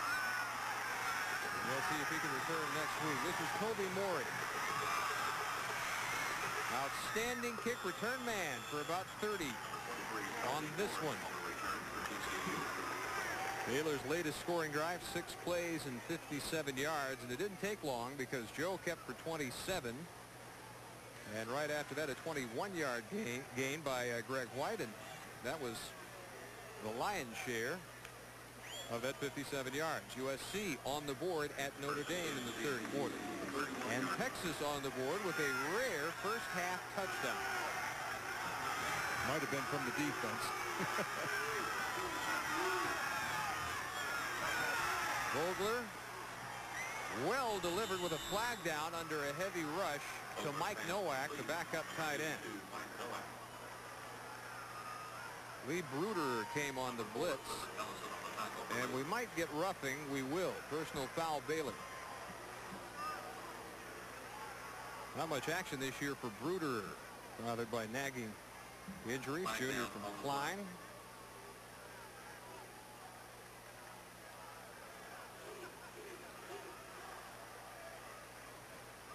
I don't know what we're waiting for. We can't hear him. but we do know it's personal foul on uh, roughing the passer. So into Baylor territory. TCU first down at the 47.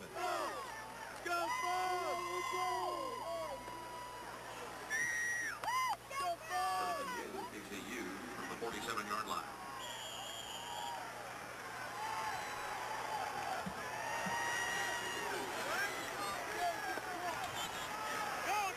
Clock rolls. 6.40 and counting. Dickens is the setback. Vogler on the play fake. Blackwell, great reaching grab. Almost a trap, but he brought it in at the 38. What a day he's had. And what an adjustment on that catch. To come completely against your body and reach back and come up with that catch. And he has such great hands. He never bobbles the ball. He reaches completely around him. On the backside, look at this, right about two inches off the ground, clean.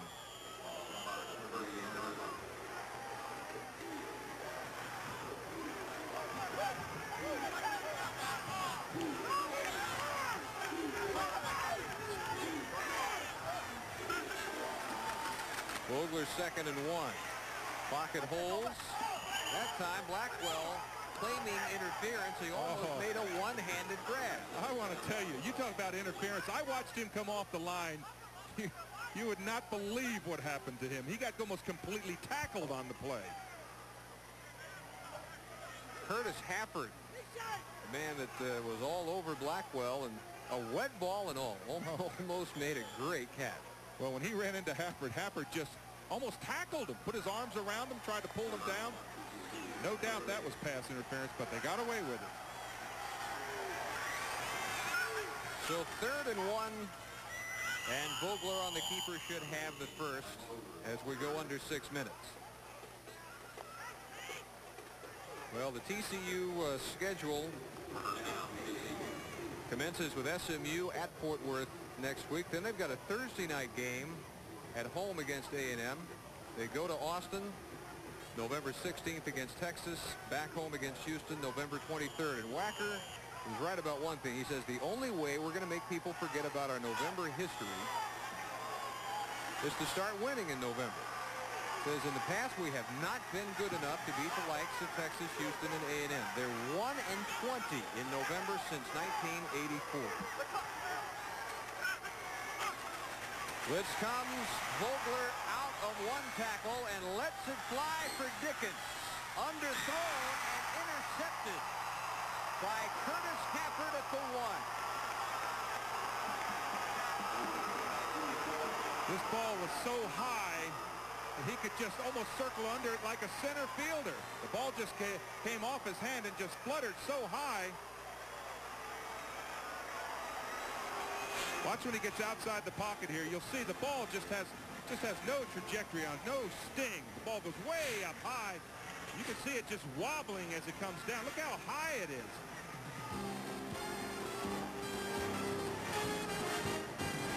Curtis Hafford with the interception, 5.28 remaining. Most of my friends don't know what they're going to do after graduation but I've already locked in guaranteed skill training in the Army. Qualify now and you can reserve even the Army's most sought-after technical training up to 12 months in advance through the Army's delayed entry program. Sure, being a soldier won't be easy, but then nothing worth having ever is.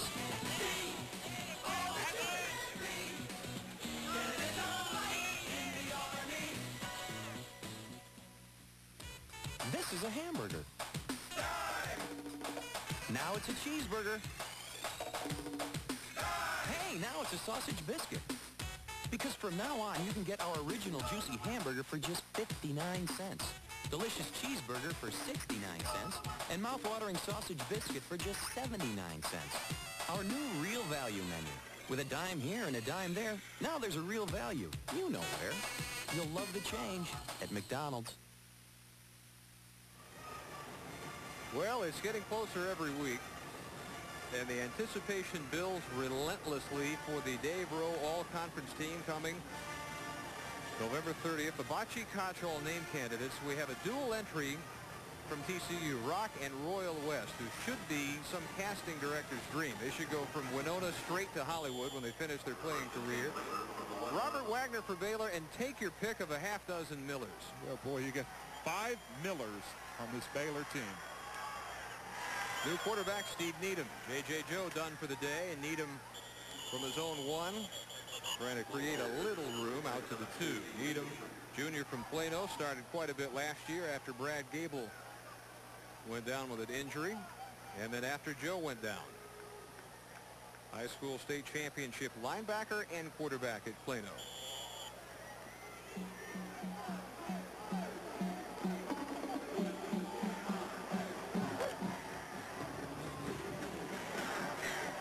Under five minutes we go. Loeb is the new fullback. So Henry probably done for the day. Likewise. And this is Craig Stevens. This is the fourth tailback we've seen for Baylor, sophomore from Pasadena Dobie, which produced Trevor Cobb. That's that's not a bad uh, backfield not, tandem. No, that certainly is not. You know, you get the feeling I do as a as a player that Baylor came out and did what they had to do. Their defense came out and really controlled this football game. Their offense really didn't didn't come up to a complete cohesive unit, but they were able to move the football. They've been able to score some points, but really their defense came out and played extremely hard.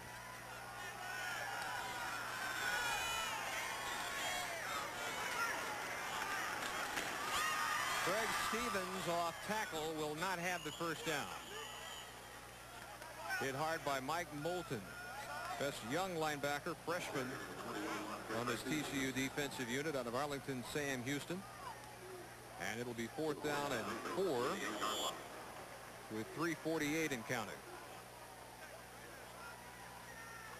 Hickman should get this punt in Baylor territory. Well, what Baylor wanted to do, they have done right down the line. They played their type football, hold steady, create the turnovers, grind it out on offense, And more than that, erase the psychological scars. Great punt under pressure by Brentham. They're caught at midfield, 42-yarder. A lot of teams would uh, crater for the rest of the year after what happened to Baylor against Rice. And then to be blown out really in the span of about two or three minutes in the second quarter against A&M last week, but they have rebounded. And that's quite a tribute to Grant Teaff and his staff to get focused back on the football game. If you told him in the beginning of the season, hey, coach, you've got a chance to be 9 and 2. What do you think? He'd say, boy, we take it in a minute. But when they when they lost those two games back to back, everybody said, boy, what's happened? And he just put all those distractions out of his mind. David Lewis on the quick hitter, tackled by Ellison. Clock rolls.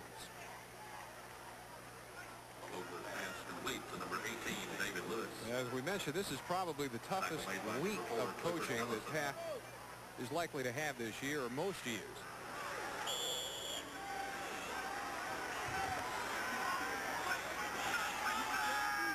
And now Wacker faced with a tough week of coaching. Shipley reaching behind him for the first down to the 35, and again Ellison makes the tackle. When you think, what if he had thrown that ball out in front of Shipley with his speed? He was downfield in a hurry. Now we're in hurry-up offense. TCU trying to score. They're going to call every play from the line now.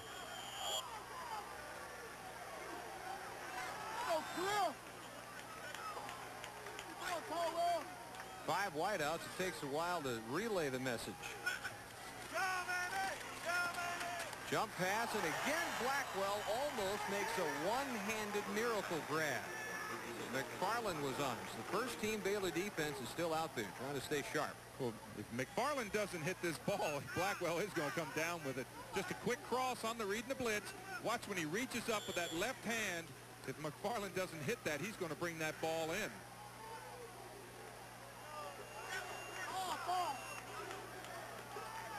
Blackwell moving up the Southwest Conference career reception chart.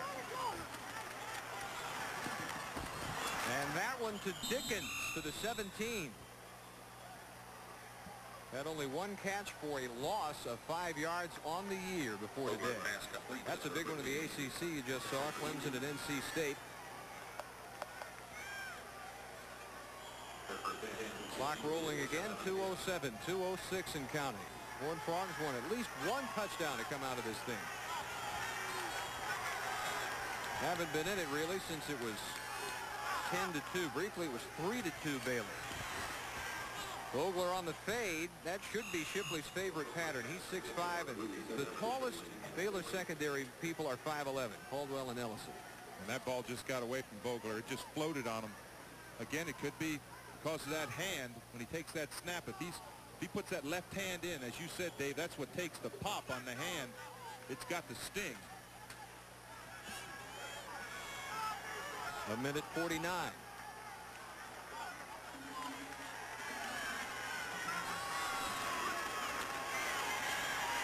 And the other side on the fade, and this one caught by Dickens for the touchdown. Boy, I want to tell you what Dickens did that time. He looked off. He just looked away, and when his defensive back turned and looked at him, the defensive back never thought the pass was thrown to him. Kind of like looking off the fake uh, pass in basketball. Did an excellent job.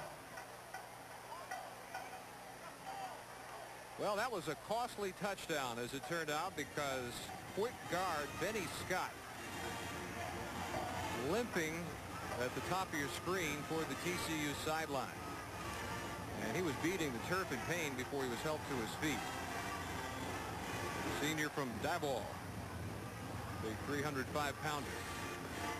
The touchdown comes with 142 to play. We see Jeff Wilkinson on for the extra point.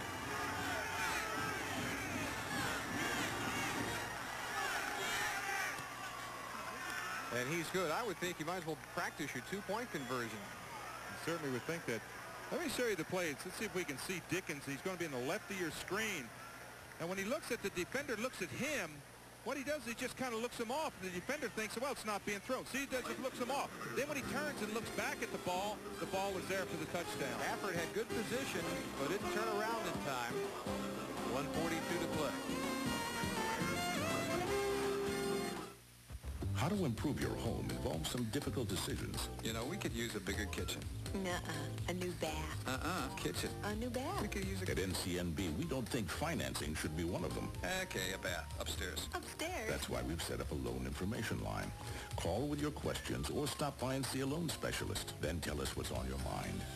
Okay, I got it. A garage. Uh-uh. A deck. A garage. 1-800-ASK-NCNB. Sweetheart. The loan source. Yes? I want a deck.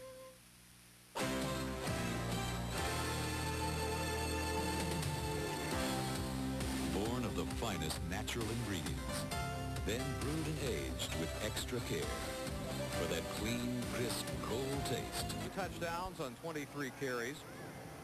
It has been a team effort offensively and defensively for Baylor. So out of a lot of candidates, John Henry, our Southwest Airlines player of the game.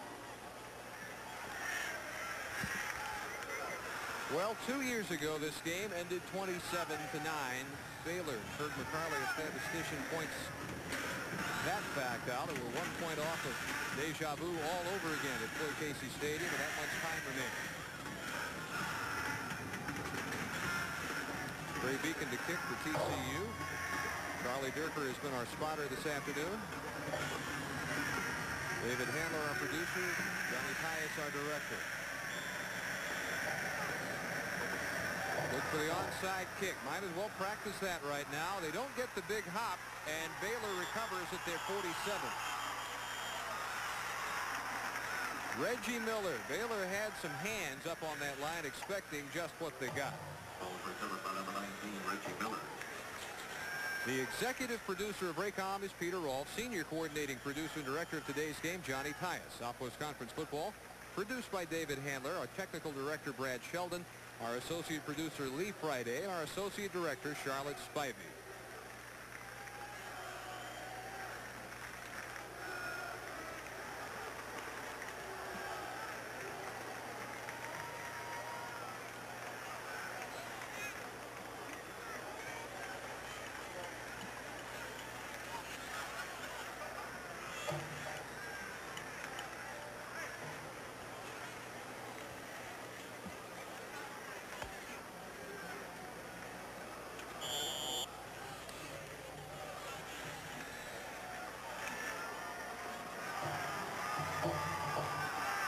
Reggie Miller was shaken up on that play. The man that covered the onside kick has to be helped off the field, and Needham giving to Stevens with 132 and counting. And it's a happy homecoming.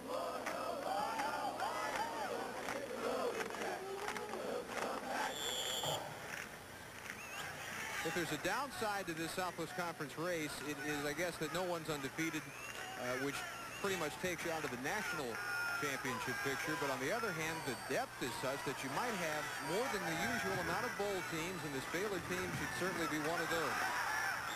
Stevens to the 42. A&M should definitely be one. TCU has a shot. Rice has a shot. Texas has a shot. Certainly Baylor. Grant Teaff will win his 119th game at Baylor in 47 more seconds.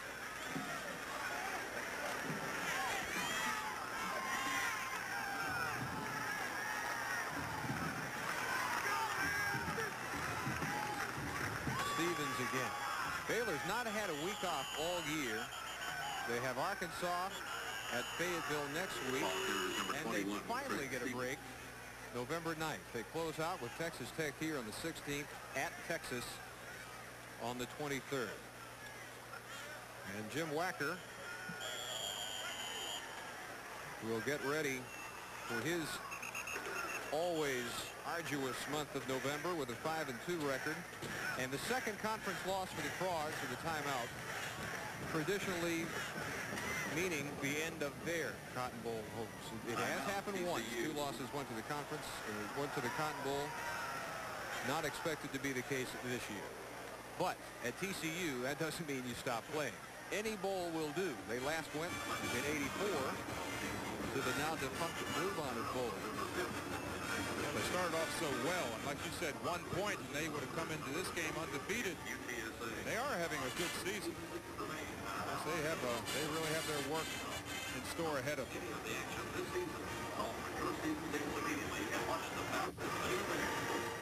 I think a lot will depend on the condition of Schade's shoulder. No word on, on the extent of it, but uh, we saw him with ice on it. Haven't seen him much in the second half. Vogler's hand should get better, but that's not much depth at that position. You've got a little used junior Darren Schultz and a true freshman Scott McLeod. That's it behind Vogler.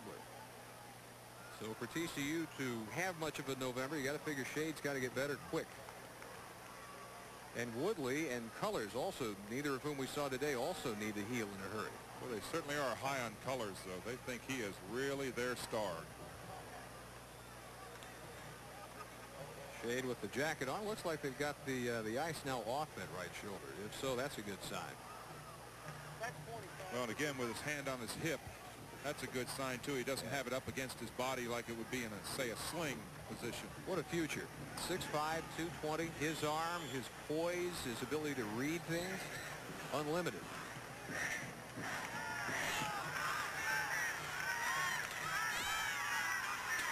Fourth and one. Needham on the blind bootleg in a foot race with Tony Rand, and he probably will have the first. He definitely will have the first. That's the 41, right in front of Teaff.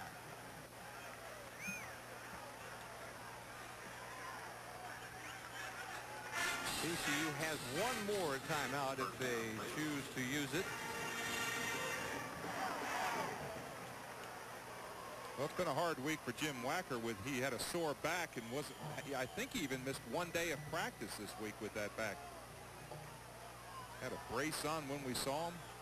So maybe that's why he's not as animated as he usually is. Whistles before the snap.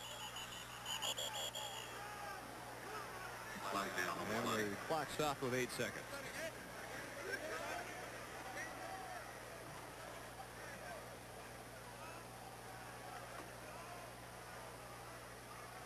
Dead ball. Motion. So the inevitable drawn out a little more.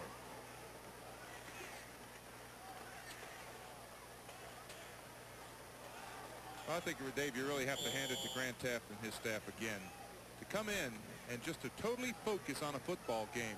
He knew that this TCU team is a high-scoring team. They've shown it. They put a lot of points on the scoreboard. And to go and do what he did, a lot of people would question that because, as I said, you don't scrimmage during the middle of the season, not full go. He went everything live. Stevens one more time, and that'll do it. And on that excellent point, it's over. Baylor wins it 26 to 9. They break their two-game losing streak, and they're 6 and 2 and 3 and 2 in the conference. TCU 5 and 2, 2 and 2 in the league.